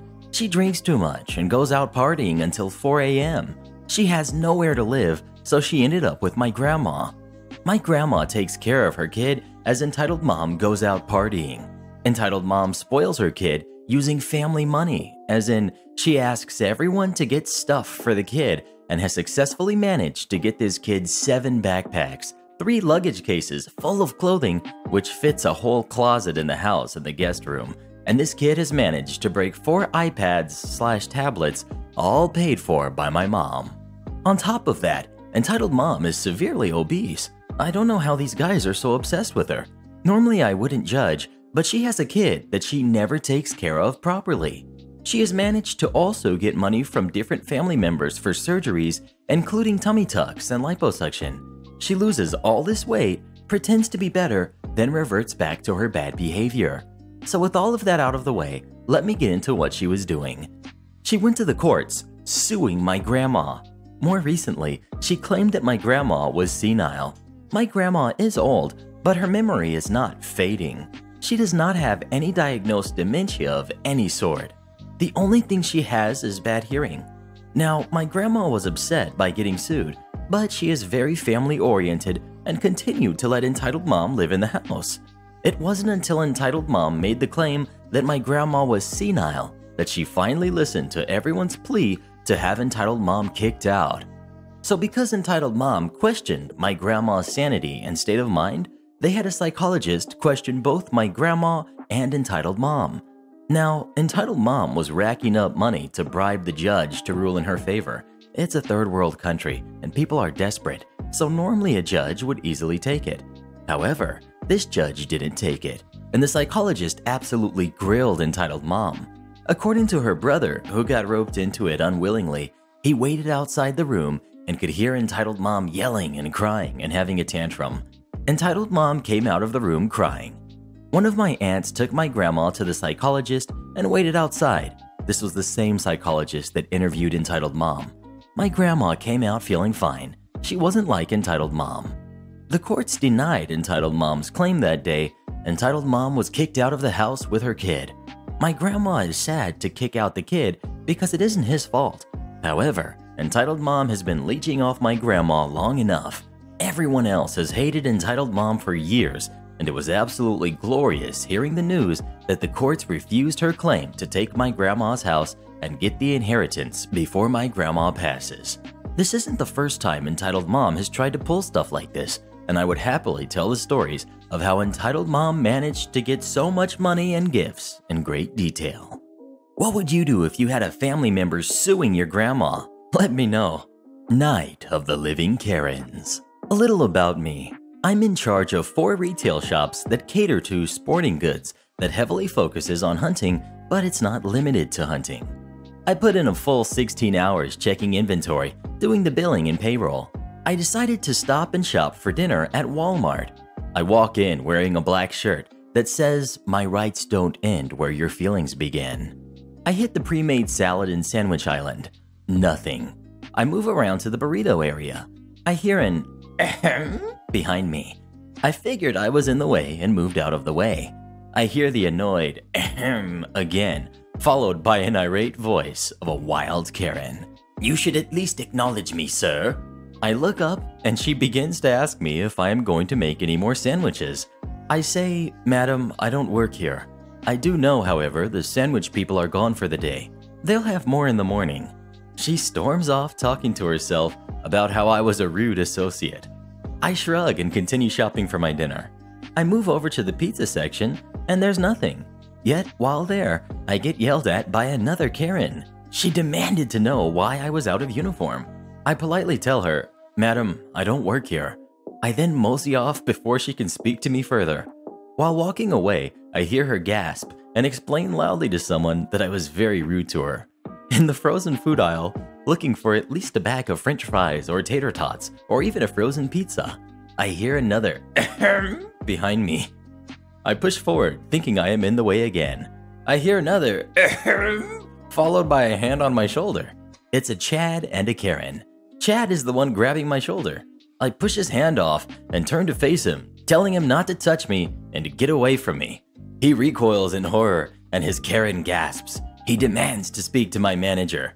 I tell him, I don't work here. You can talk to the manager all you want.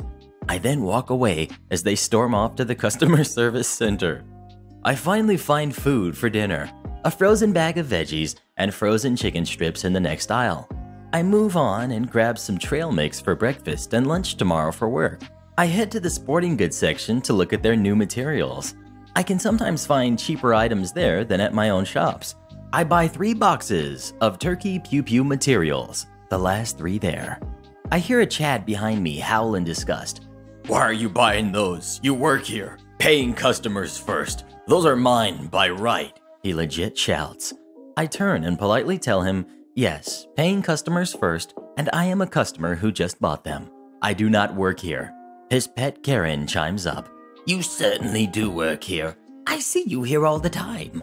I explain I don't work here. I am the owner of my business. I then walk away, leaving them fuming. The poor girl with the key to the pew pew material cabinet chimes up. He don't work here. They go off yelling at her about how she's covering for a thieving employee who's taking from customers to be a very rude and greedy person. I stop by office supplies and electronics to pick up some goodies. I then remember something from my list back in the food section. I go to get English muffins. I don't see the kind that I like, but I see the honey wheat ones and I grab three for the gazillion eggs I got at home. A wild Karen freaks out on me. You're an employee. You shouldn't be hoarding stuff. I politely tell her I do not work here and exasperatedly ask why does everyone think I'm an employee? I'm clearly not dressed like an employee. She comes back with, Why else would you be in Walmart? I walk away laughing and retort, You must be a Walmart employee too. Why else would you be in Walmart? I'm looking over jewelry when Chad from Sporting Goods walks up and reaches into my carriage, taking out my three boxes of turkey pew pews. This was seen by Mark. Mark is the 62 year old store manager who is being followed by no less than 10 people, all pointing at me, saying that I was the rude employee who they had been snubbed by. The Chad caught red handed claims I stole them out of his cart. Mark listens to them and all their complaints while keeping a smile. After they each said their piece, he proudly declares to the group, some of which had people who didn't even talk to me, upset about my choice of attire, that I do not work there and never have that I am a regular customer, but I own a number of sporting goods stores, and that he had bought products for his nephew to hunt with directly from me and saw me walk out of the office of the store. Many grumble and accuse him of playing favorites and protecting his employee, vowing to complain to corporate and never shop there again before disbanding. Mark turns to the Chad, still holding the three boxes of my turkey pew pews. You come with me. I follow Mark, and Mark reviews the camera footage to determine who the boxes belong to. I even provide my receipt because I never walk away from sporting goods without paying. Mark turns to me and asks if I want to press charges. I agree and wait for the police. Chad is arrested, and I fill out my witness statement. Mark does so as well and turns over a copy of the security footage and a photocopy of my receipt. I pay for my things, and Mark compensated me with three bags of trail mix for the insanity of the store. We joke and exchange some talk about our respective businesses and the chaos. I wave and tell Mark I'll see him later and to drop by the shop, that his new order had just come in, and I'll throw in a goodie bag for him to thank him for the extra trail mix. I have survived the night of the living Karens in one piece. Never cheat for your kid. So, back in high school, I was classmates with a kid who, well, wasn't exactly the sharpest tool in the shed. Take note, we were sophomores, grade 10, by now, so our batch had been together for 10 years. It's a small private school, so we were all pretty tight knit. However, his mom believed he was the perfect little angel who would outshine everyone else. In reality, he only got those since his mom would bribe their way through the system to let the kid have the benefits, such as instead of trying out, the mom would pay their way into sports teams so he'd get credit only for him to be benched the entire game. The worst part was that as years went by, and to this day honestly, the kid bought into his mom's narrative and believed he was superior to many of us, with the mom making many outlandish claims. Among these tactics was something I'd noticed for a while. See, in the Philippines, instead of dividing the academic year in semesters, we had quarters, and within each quarter, we had two major long tests. Henceforth, I'll be referring to as LTs, then, after each quarter, we had a quarterly exam. Henceforth, I'll be referring to as QEs. As each quarter progresses, the QEs would aggregate lessons from the quarters that had passed along with that quarter's lessons. Anyway, for some time now, our class had noticed that the kid would call sick on the day of the major exams, and then the mom would call on the kids in the higher bracket grading who were supposedly close with the kid to ask for the exact content of the tests so that they could study it for the retest. Now, I'm not exactly a star student. Okay, not at all. But my grades were decent enough for her to consider me within that call list. I mean, I hung out with the guy, and he was nice enough until his mom began inflating his ego. So during the third QE for algebra, surprise, surprise, the kid calls in sick. Now, this was pretty expected since everyone had already been betting on it. Sure enough, by evening, the mom calls up asking exactly what was on the test, each question and answer. I tell her off, and she starts spouting on about grades are important, and I'm just caring for the future of my child, and he deserves to be in the honor society, and you should be more charitable. Ugh, okay, whatever, lady. By this point, I'd had enough, so I comply, but with a twist. I end up giving her all the items of our second QE. Without a thought, she begins typing it down. I can hear her frantic fingers on the keyboard through the phone and begins taking down each and every word I say. Here's the kicker our algebra teacher did not even include lessons from the past QEs. She thanks me profusely and how I'm such a saint and a savior to her son. Ugh, quit the sweet talk, lady. Anyway, kid comes in, takes the test, and oh, look, he got an F. To add insult to injury, our teacher was the one who'd put in the numerical percentage, so we had a clear idea on how we did. Kid got a 35%. The mom confronts me and says, You lied. What you told me wasn't on the test. I played the ignorance card and said, Hmm, maybe he switched it up. They never bothered me again. He dropped from the Honor Society that year. People caught wind of the story and started doing the same thing. Parents, never spoon feed your kids. It never works out well. We're in college now, and all updates on the kid's college life are non existent. We don't even know if he's in college. Every time we have a reunion, he's evasive on the topic, despite everyone openly talking about their ups and downs on uni life. Last we heard, the mom was claiming her little Einstein was taking a double degree. We have a classmate whose uncle is a professor in the said degree, and he said he's never heard of the kid there. Entitled parent yells at me for being good at laser tag. Cast. We've got me, we've got annoying kid, we've got entitled mom, we've got staff, and friend. Background. I was invited to friend's birthday, and it was at a place with a laser tag arena, and I'm pretty good at it. I arrived quite early to the birthday, so I soon guaranteed my place in the line. It was the right move because there was a line to enter it, and to make the line move faster, the rules were free for all, with about 10 people in the arena each time. And when you lost, you exit the arena and give your equipment to the next kid in the line. Once I was inside, I defeated some enemies and was still with all my lives. Everything was okay until I defeated Annoying Kid. He was younger than me, and I had defeated him before, so he went through the entire line again before I defeated him the second time. Annoying Kid after recognizing me. Hey, how are you here if I entered the line before you? Me. I simply didn't lose my lives. That's not possible. You're cheating. Me. Go and lie to someone else while running to get another enemy. So while I was running near the arena entrance, the door opened and the staff called me. So I exited the arena and went to see what he wanted. Staff. It's him? Annoying kid. Yes, it is. Entitled mom. Before I even realized what's happening. So, you're the one that's cheating and defeating my angel. Me. I'm not cheating. My son said that you are cheating, so yes, you're cheating. And I'm sure that if Staff looks at your gear, he will see that you're cheating. Staff, let me check your gear. I give him the gear so he can check it. Staff tells entitled mom, Nothing is wrong with his gear. Staff to me, You can go back in the arena. But he's been in the arena for more than 20 minutes, and my angel stayed less than 5 minutes each time. But ma'am, the rules are clear. You're only eliminated when you're defeated and he hasn't lost yet. But this isn't fair. He played more than my son. Ma'am, please calm down. I only work here. I'm not the one who created the rules. At this moment, I decide to return to the arena, where I stayed until Annoying Kid entered the arena again, and somehow convinced six of the other players to come after me. I had defeated some of them before. So seven kids rushed at me, and even though I managed to defeat four of them, including Annoying Kid, they were able to defeat me. At this point, I only had half of my lives remaining.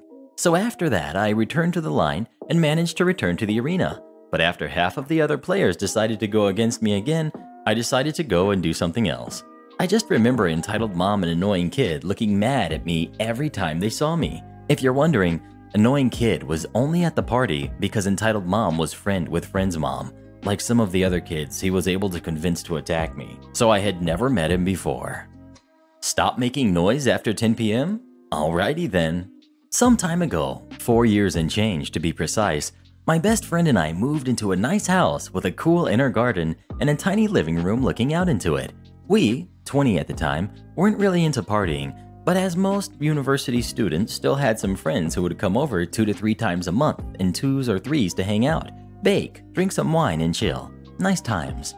Once the weather got warm enough, we would sit in the garden and talk. And here, you'll just have to take my word that we were only talking once the clock hit 2200, as that's when the official night hours start around here. So, no shouting, not even the quietest of music, no more than four people having a chill conversation in their own backyard. Working and studying, mind you, doesn't leave much time for such luxuries, so again, that's no more than twice a month. Across the fence, there lived a just no family. An older lady and her husband in one house, and her daughter, toddler, grandkids, and two small obnoxious dogs barking all day, every day, and the next, both sharing a garden bordering on ours. Two meter high concrete wall between us and them. Additionally, we had never met them in person until they started showing up at 2205 demanding that we go inside and close all windows so as to not be heard at all. Because otherwise, we are a great awful inconvenience, super loud, and an absolute breach of the rules. Not true, but the constant bickering, threats, and calls to the landlord spoiled any enjoyment of the garden and summer evenings for us. The final straw was when the husband appeared at 2202, so he had obviously been waiting to lecture us as to how we can be as loud as we want, but no later than 2200, because in this community we have rules. Alrighty then, cue malicious compliance. Both of us enjoy a wide variety of musical genres jazz, blues, swing, classical, folk, the occasional pop or rap track, you name it, and rock and metal abundantly. So for the next two years, every evening with nice enough weather, the time from 2100 to 2200 became the neighborhood musical education hour. And at this point, it ain't jazz either, and is as loud as we darn well please. We're having a blast, unwinding from the day, incorporating all cooking and showering into a dance routine. Then, all music stops at the strike of 2200. Yes, we have an actual church with actual bells that rings even at the time of the night. And on and on, evening after evening, till the leaves start to fall and it gets too cold to blast some nice Rammstein or Pink Floyd or whatever through the huge living room window. They tried to complain to the landlord about it too, but at this point, he told them that they got exactly what they asked for and to buzz off. Only thing we hear from the other side of the fence nowadays is them screeching at their dogs, and they lived happily ever after. Homeless looking guy actually does work in the building. So, years ago, I got a pretty sweet gig working as a security guard, shift supervisor actually, important, a building downtown. It was a mixed use building, so we had a food court, retail stores on two levels, as well as five office towers. When I first started, one of the things all the guards are taught is to treat everybody they deal with respectfully. The building did have a lot of transients and homeless people wander through, but we prided ourselves on being courteous and polite to everyone. Well, one lazy Sunday morning, I get a frantic call from our building operator, guy who watches all the security cameras, telling me I need to get to a specific bank of chairs on the second floor. He's panicking, and I can't make out much of what he's saying other than one of my guard's names. I go rushing over, worried about this guard, who's a bit of a loudmouth bully, and he might be in a fight or something. Oh boy, do I wish that was the case. When I get there, the guard is berating an older gentleman who is seated in one of the chairs. Guy has a pile of paper and a coffee on the table in front of him and is pretty shabbily dressed. A pair of threadbare jeans, dirty running shoes, a faded and stretched out t shirt, and a leather jacket that has more scuffs than leather at this point. There's a ratty laptop bag on the floor leaning against the table. The guard is darn near purple in the face, screaming at this guy to get out, pointing wildly and yelling about how we don't allow pieces of garbage to live here. You've been here an hour. Move along. I walk up, tell the guard to cool his heels. Hey, guard, let's all just take a breath. What's going on here? And then I greet gentleman in the chair and ask what seems to be the problem. The second gentleman gets two words out. Guard lights up on a tangent about how this homeless dude is loitering and needs to leave but won't get up. I shush him and try talking to the gentleman again, and this time he got out four words before the guard interrupts again and this time starts threatening to literally flip the chair forward to toss the gentleman onto the floor. I finally have enough with the guard and tell him to go to the office and cool off, and that I will deal with the gentleman. Guard begrudgingly leaves, and I apologize to the gentleman about the guard's overreaction. Gentleman basically says, I appreciate it. I work in X tower on X floor and forgot my keys. I was waiting till my assistant arrives and can let me in. I automatically offer to let gentleman into his office. We do all the time and have specific protocols for it, and he accepts. So away we go to the elevator. We reach the floor, and then doors open, which is when I realize where I am. Every single night, we patrol every single office space of every single tower except for one. On one floor, the entire space is occupied by a legal firm that is worth multi millions, and we aren't allowed in the office, ever. Yup, I'm standing on that floor. Gentleman steps into the floor lobby, and I have to excuse myself to go and get the key for his office. We aren't allowed to carry a copy of it, so I can let him in, and he just nods. I race down to the building operations room, snag the key, and race back as fast as I can. When I get back to the floor, I open the office door, and gentleman invites me in as he goes to shut off the alarm. I then have to awkwardly ask him for his ID and to see his office so I can verify that he's allowed to be there. He chuckles and obliges me. He's the owner of the legal firm. Thanks me for letting him in, and I leave. About 20 minutes later, the president of our security company arrives on site with two other people, and guard who blew a gasket is escorted off site. Fired. As soon as I left lawyer, he called the manager of the building at home to have words, and manager then called security company who came down personally. I got a nice compliment for how I handled things, and I learned why we had the rule of treating everybody with respect. You don't want me in your class? Okay. Okay, so this took place a long time ago. I think it was in 2009. I was 14 years old, and for context, we live in a country that's not very familiar with English, especially in 2009. At this period, almost nobody used English in their daily life. No song translations, and all the media was in our native language. This resulted in really poor English lessons. We were learning since we were 11 years old, and we were studying simple stuff. For my part, I was always interested in languages, and I was traveling for sport, as I was training better and started to do international kayak competitions. This resulted in me not only learning, but using English for three years. At that point, I already read two Harry Potter books in English, so I can say I was really bored in English class. I had little time to do my homework because I was training a lot, and boy, we had a lot of homework. I was studying science, math, English, German.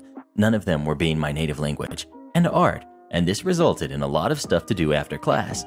So when the year started, I especially chose a place at the back of the classroom for the English lessons. Usually, in English, the teacher gives an exercise, waits for everybody to finish it, then asks the student to resolve the beginning of the exercise. If he does not know, she goes to ask the next student, etc., until all of the exercise is solved. This permitted me to resolve the exercise in 5 minutes and do my homework during 15 minutes while listening to the answers or correcting in 5 minutes with all the correct answers written on the blackboard. Not to brag, but to me, it was really easy, and I was not correcting a lot of my first answers. And you may ask, how did I do when she asked me to answer? Well, my answers were ready, so it was easy. I had been doing this for years with several English teachers, and as I was not disturbing the class, none of them were annoyed by that. But her, she did not like it. So the first time she noticed was in the middle of the year. I was stuck on a math problem, and I had not followed how far she was in the exercise and what she asked for. So, of course, I asked her to repeat the question. I think that's the first time she has looked at my desk. Her face was priceless. I had two different exercise sheets, three mathematical formula sheets, a pile of draft sheets filled with calculation, a lot of colored pens, a ruler, and a calculator, while her exercise were on a single sheet, and I should have an English book open to help me do the exercise. Her. Where is your English book? Me. Oh, I have it. It's in my bag. Why don't you have it in front of you? I don't need it. Obviously you do, as you cannot answer my question. But. And what are you doing anyway? Put all that useless stuff in your bag and open your English book. So, being non confrontational, I obliged for the rest of the lesson. It was boring. The next lesson, I really needed to do my homework, and I did not want to lose that much time as I did during the last exam.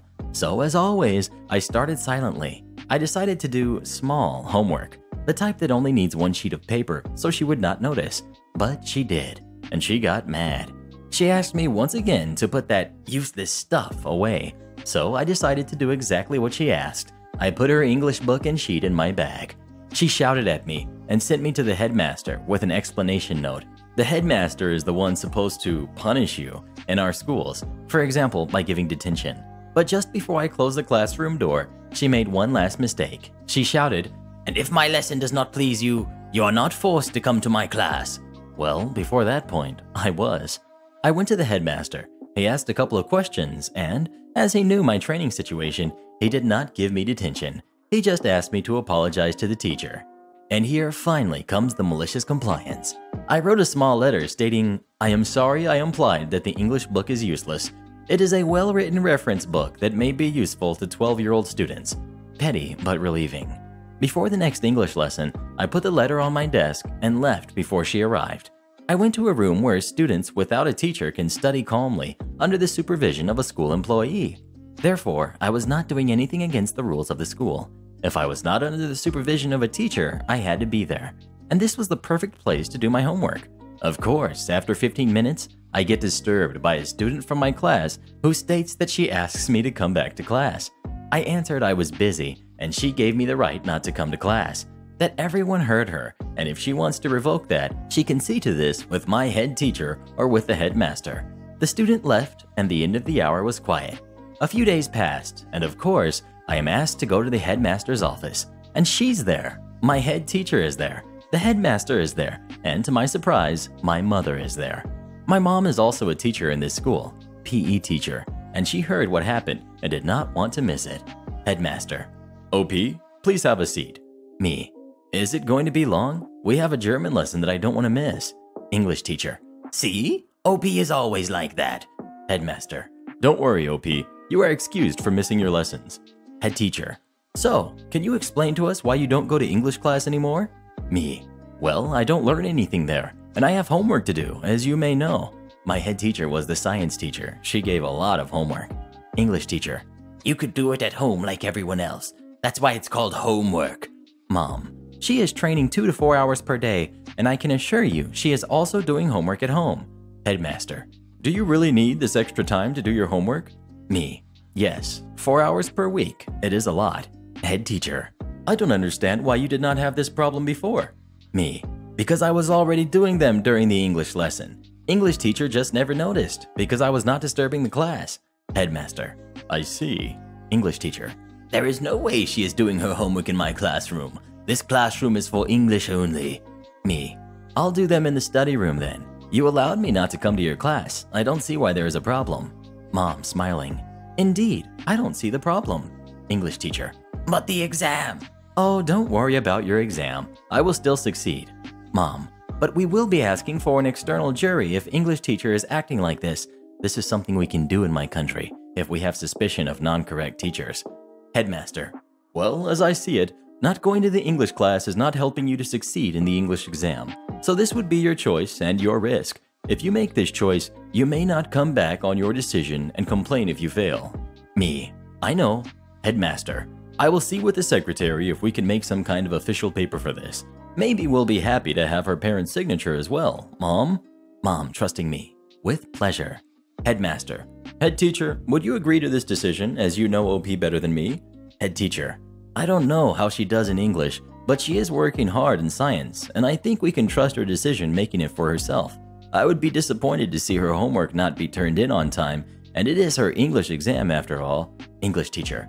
But, headmaster, and I don't think you will need an external jury, as I will reread OP's English exam myself after correction. You agree, English teacher? I guess so, headmaster. Then it's settled. Have a nice day. That's his way of asking us to leave. And like that, the end of the year went smoothly. I had more time to do my homework, and I succeeded her exam.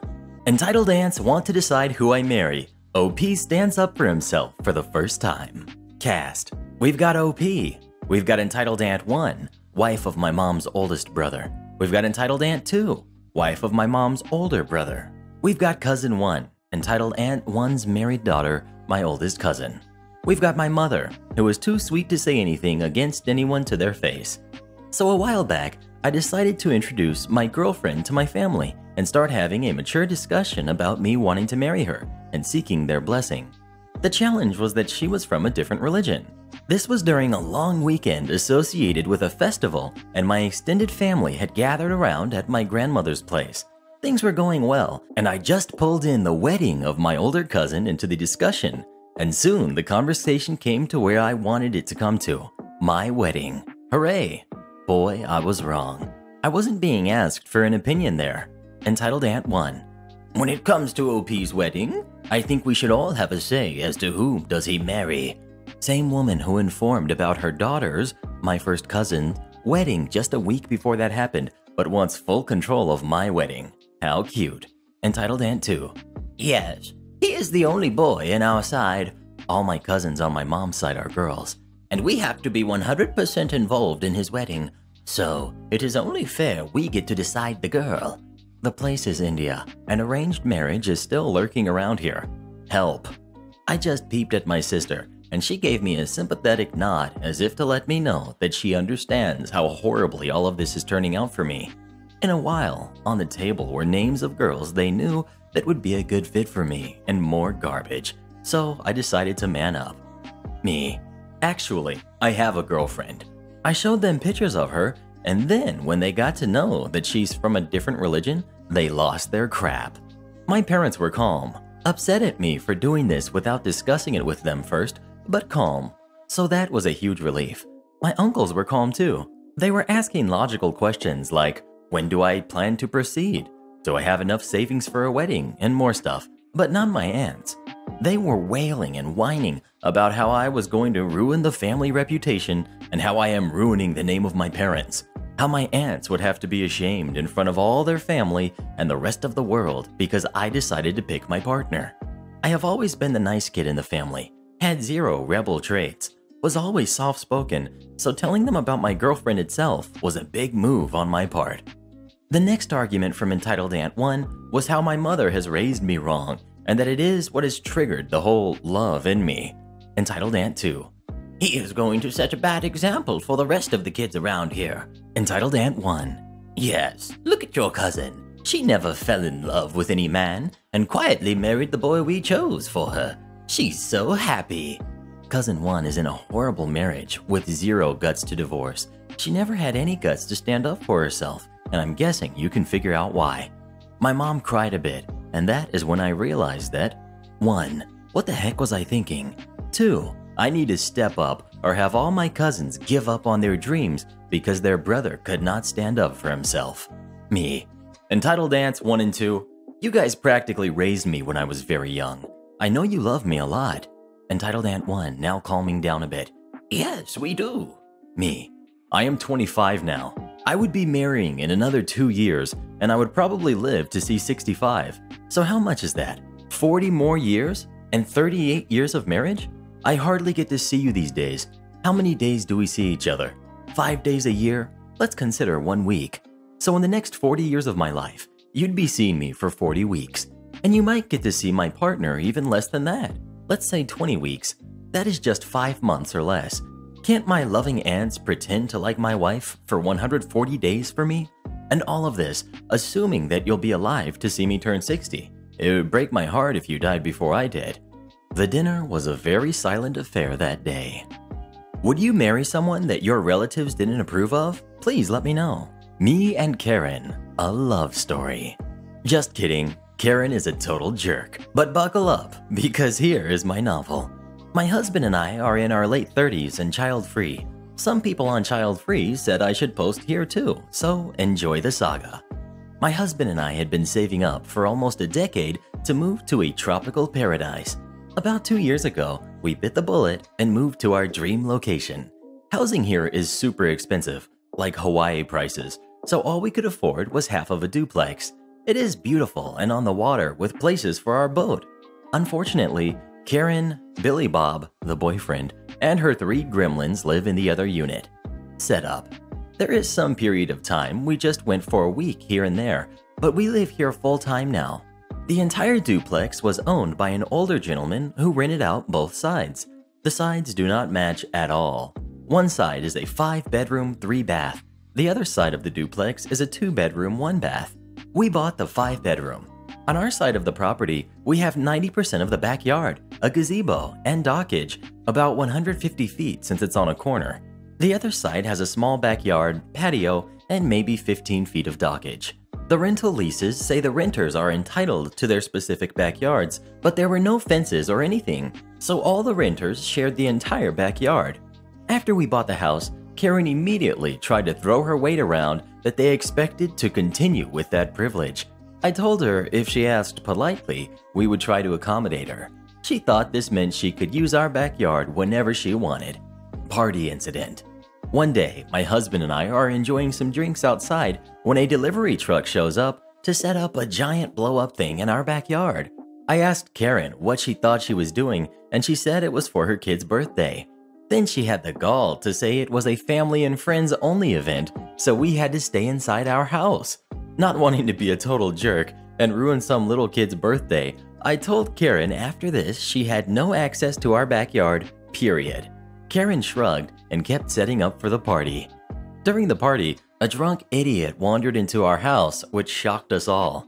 I said Karen's house is the other side, and he said, Oh, Karen said she owned the whole property and to use whichever bathroom was available. I directed him to Karen's bathroom, and soon after, she came storming into our house, screaming about how dare we make her look bad to her friends and how selfish we are we couldn't even spare one bathroom. She said we didn't deserve all this space with just us. I told Karen to get the heck out of my house or I would be calling the cops. She finally left, and the party wrapped up shortly after. Backyard remodel.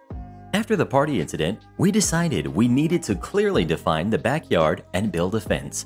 While we were spending the money, we decided to update the patio, put in a fire pit, and an outdoor kitchen. While the contractor was on site, Nosy Karen had to come investigate. Since the fence would be the last thing built, I was vague and just stuck to telling her about the patio update. You could see her face light up because, of course, in her mind, what's ours is hers.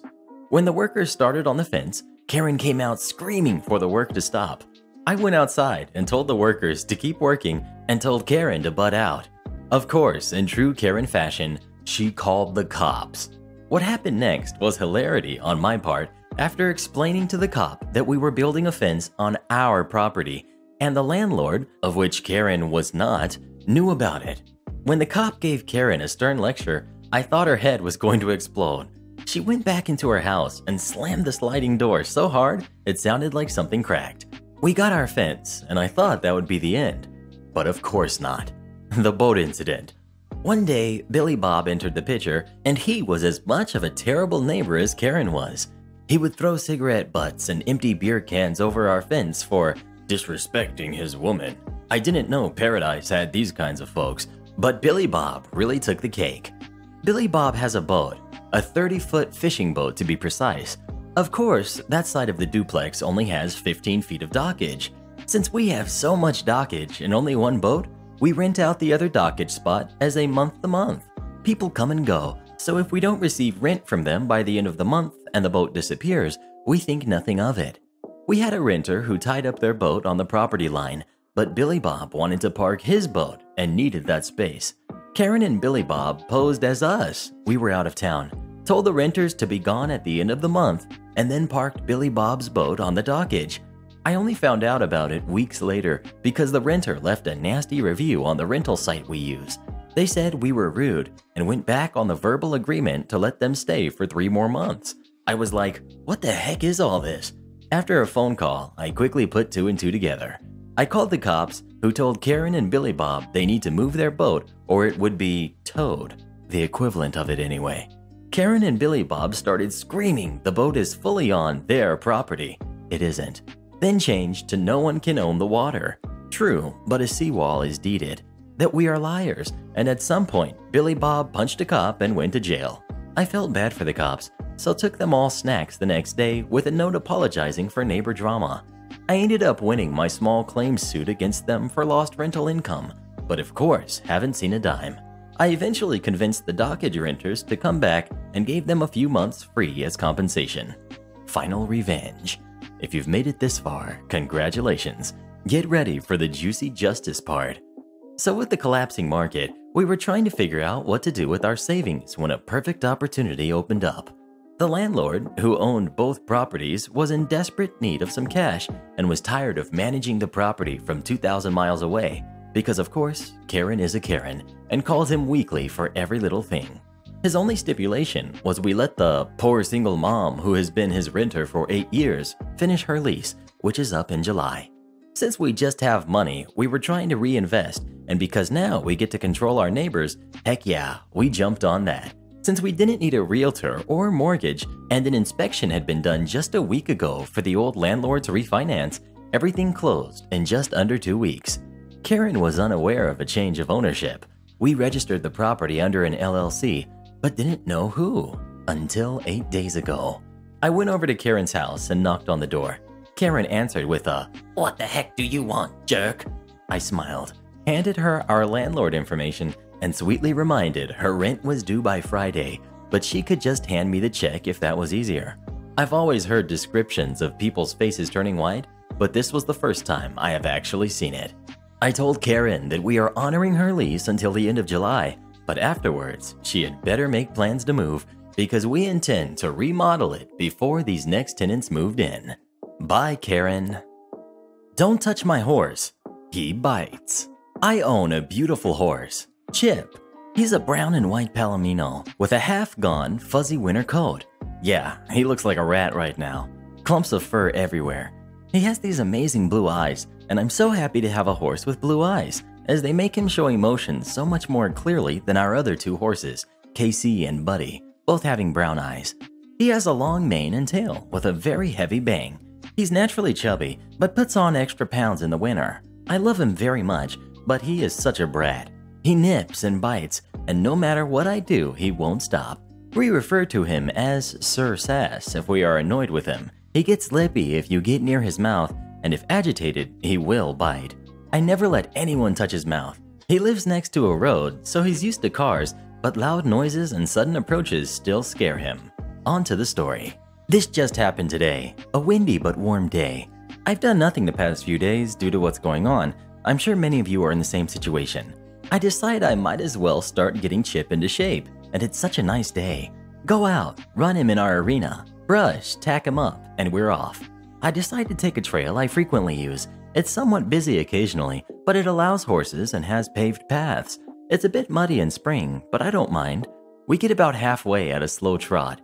He's behaving beautifully, and I'm so proud of him for not acting like a complete jerk.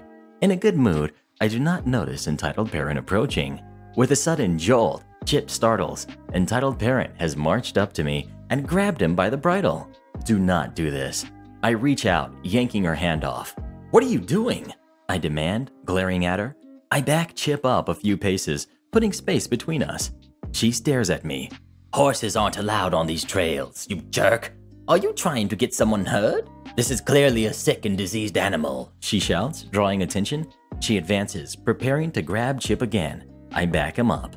Stay away. He's nippy. I warn, patting him. Lo and behold, she ignores me and continues lunging, trying to grab him. I'm starting to panic. Finally, I dismount and holding his reins, face her. He's not sick. He's shedding his winter coat. If you knew anything about horses, you would know this. I, in fact, own a horse. He never grows a coat and sheds it, she states, as if trying to prove me wrong. We are up north. All horses grow winter coats here, lady. In fact, it's likely her horse is probably not growing a coat because it's sick. God knows. She suddenly lunges, taking me by surprise. She snags the reins out of my hand. Chip lets out a neigh and instinctively, sure enough, bites her right on the hand. She screams, letting go. I quickly pick up the reins before he can bolt and awkwardly get on him, patting him and trying to stop him. He's having a horse panic attack, making small bucks and rears. Meanwhile, entitled parent is screaming, calling my horse rabid, me irresponsible for not watching my horse. People who were watching earlier are staring in horror. Her hand is bleeding everywhere. Finally, I get control of Chip. She starts screaming, firing insults at me. Said I let my horse bite her. My fault that my horse is rabid. Someone calls the police. They show up with an ambulance and she's taken to the ER. Spent the entire afternoon having to explain that no, my horse does not have rabies. No, it was not my fault, and no, I did nothing to her. Police understand that he's just shedding. Witnesses are asked and confirm my claims. So basically, she said this I was riding on a trail where horses are not allowed. Horse bit her for no reason. He has rabies, a skin disease, and I insulted her and made Chip bite her. Thank God for the witnesses. Her hand is fine, so far as I know. Don't think I'll be riding Chip on that trail anytime soon. Turns out the lady didn't even own a horse, so I guess her imaginary horse doesn't shed in spring. How interesting. Boss tried to be slick changing my employment, ended up having to pay me more than what he thought. To give some background for the story, I was working as a legal assistant at a small law firm, but started off as the receptionist. This was a job I could get straight out of college while I give myself some time to adjust to adulting life and getting ready to apply to graduate slash law school. He fired a coworker over her asking for a higher raise and immediately told me I was going to take over. The law firm has eight employees and has a high turnover rate, and I didn't realize until a couple of months ago. My boss is a stereotypical boomer and gloats about how he was in the army, how he's a ladies' man, even though his wife is literally our office manager, and doesn't train his employees, even though he forces his employees to sign a contract saying they will have to pay $2,500 if they don't complete one year. Over the past months, he has tried to say my work is terrible, even though I used all of his templates and had to correct him with information I received from the court on how to do these exact family pleadings, and I have closed cases that have been with us for years in the span of one to three months. Blames me for being rude to clients, even though the clients told him it was not me and was another coworker who he showed favoritism to, and consistently asked me if I found the right man. Would I be with that man after he met my girlfriend at the firm's annual holiday party? There's a lot more, but too much to write. Overall, he hated anything about me and my coworkers would often have to vouch for me because he would take out his anger on me. Because of this, I made sure to always send emails of our conversations and clarify things in order to keep track of all the shortcomings and issues. I even had a meeting with my officer manager and documented the fact that I wasn't trained by sending a follow up email and screenshotting an email where they made me train a new person one week after I started. Someone please tell me if this looks like adequate training. Three weeks ago, he changed my contract to being a non essential employee and told my coworker, before she quit, that he lessened my hours because of my poor work and anything I did could be sent by mail or email. He often rushes through his work and leaves a lot of loopholes in his contract, so cue the malicious compliance. The contract said that I would be a non essential employee, and by the way he wrote it, he capped phone calls at 0.5 of an hour, but I would get paid $15 per call. $45 for each family packet I did, and $15 per email correspondence. So I did a couple of family pleading packets, but kept my coworkers in the loop, and they told my boss that they were busy with other things and asked if I could make the calls. They knew I am the only one in my household working and felt the contract was terrible. I also asked them how they would read the contract, and they interpreted it in the same way I had. Since I was deemed non essential and he could not be bothered to draft a letter letting me go into the office, I had to send various emails for him to print. When he would ask for me to place items on his desk, I referenced my contract stating I was a non-essential employee and could risk a fine slash jail time. I ended up making so many calls, always tried to make them as long as possible by asking clients how are they and hearing them complain about what's going on and how difficult it will be for them to make payments at this time. That when I sent my hours to my office manager, she CC'd my boss and asked to verify hours and explain. I explained and broke it down with my contract. My boss couldn't be bothered to go back to his email and asked me to forward the contract. At that point, it took them forever to respond, and I was eagerly awaiting their response. He attempts to spin it back and change the wording of my contract to say each call was only 75 cents and each correspondence was only $1.50. This would essentially make my paycheck only less than $100, even though I had originally been paid $15 an hour and had worked 50 plus hours in the past two weeks. At that point, I send my resignation and screenshots of all the times I asked how do they want the timesheets sent along with the governor's stay at home order for non essential employees. He attempted to change the story to say that I was an essential employee and finally offered to give me a letter, but at that point, I had already sent my resignation. After reading my email referencing the contract, lack of training, and mentioning the conversation with his wife, he conceded made an agreement that I was leaving on good terms and is giving me the wages I deserve. Moral of the story document everything and follow up. I have a second round interview, so please wish me luck. It's a hard time, but we'll get through it. Get your own dang spoon. So, I used to work in a really big whiskey bar in my town that also catered for dinner and coffee slash cake sort of things. I had worked there for a couple years, so I guess I was recognizable to a few people and maybe some that hadn't realized I had moved on. I was really good friends with all the staff in there, so I used to come in for a pint and a chat occasionally. The uniform in the whiskey bar is black shirt slash tee and black bottoms, and being a bar person, I happen to wear an awful lot of black on a daily basis, even in my newer job, which is casual dress. So this one evening, I call in for a drink, and I'm sitting at the bar waiting for the bartender to finish serving this woman next to me. After about 10 seconds, I realize she's absolutely going out of her way to make life a living heck for the server. She's trying to pay for a bunch of stuff separately, but wants specific changes for each thing, for reasons unknown. And while the guy serving her is doing everything to accommodate her, she creates a new problem with every interaction. Complains that there's too much coins slash not enough coins, the cream on the coffee doesn't look nice enough, etc., and gets quite rude and aggressive, sending her server running back and forth. A bit bizarre. The bartender is a chill guy and does his best to meet her requirements and offers the two Irish coffees she just ordered on the house by way of apology for not understanding her. She mutters something under her breath along the lines of, Yeah, dang right, while outwardly expressing her impatience by huffing and tapping her phone loudly on the counter. The bartender serves the drinks and smiles, apologizing again. I'm sitting at the end of the bar near where the sugars, spoons, and milk for coffee is, in my black ensemble. The woman turns to me and just says, Spoon, without looking at me. Excuse me? I reply, taken a bit back. Give me a dang spoon, she says, right in my face. I looked her dead in the eye and I responded, I don't work here. I ordered my beer and she went a marvelous shade of red and scuffled off back into whichever pit she had ascended from. She never got her dang spoon. So, Karen, what did you think of today's stories? They were horrible.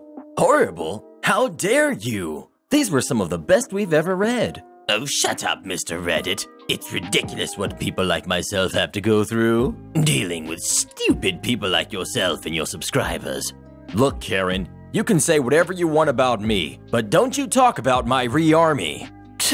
Re-army. Most of your viewers aren't even subscribed to your channel. 70% if I'm correct. Well, I can't argue with that. That's true. Most most of my viewers don't actually subscribe for some reason. It's because you're stupid, Mr. Reddit. No, I'm not. Alright guys, let's prove Karen wrong by making sure you're subscribed to the channel and turn on notifications. Pah, They're not going to listen to you. And if you'd like me, or Karen, what? To record a special message for you, come visit me on Fiverr, link pinned in the comments below.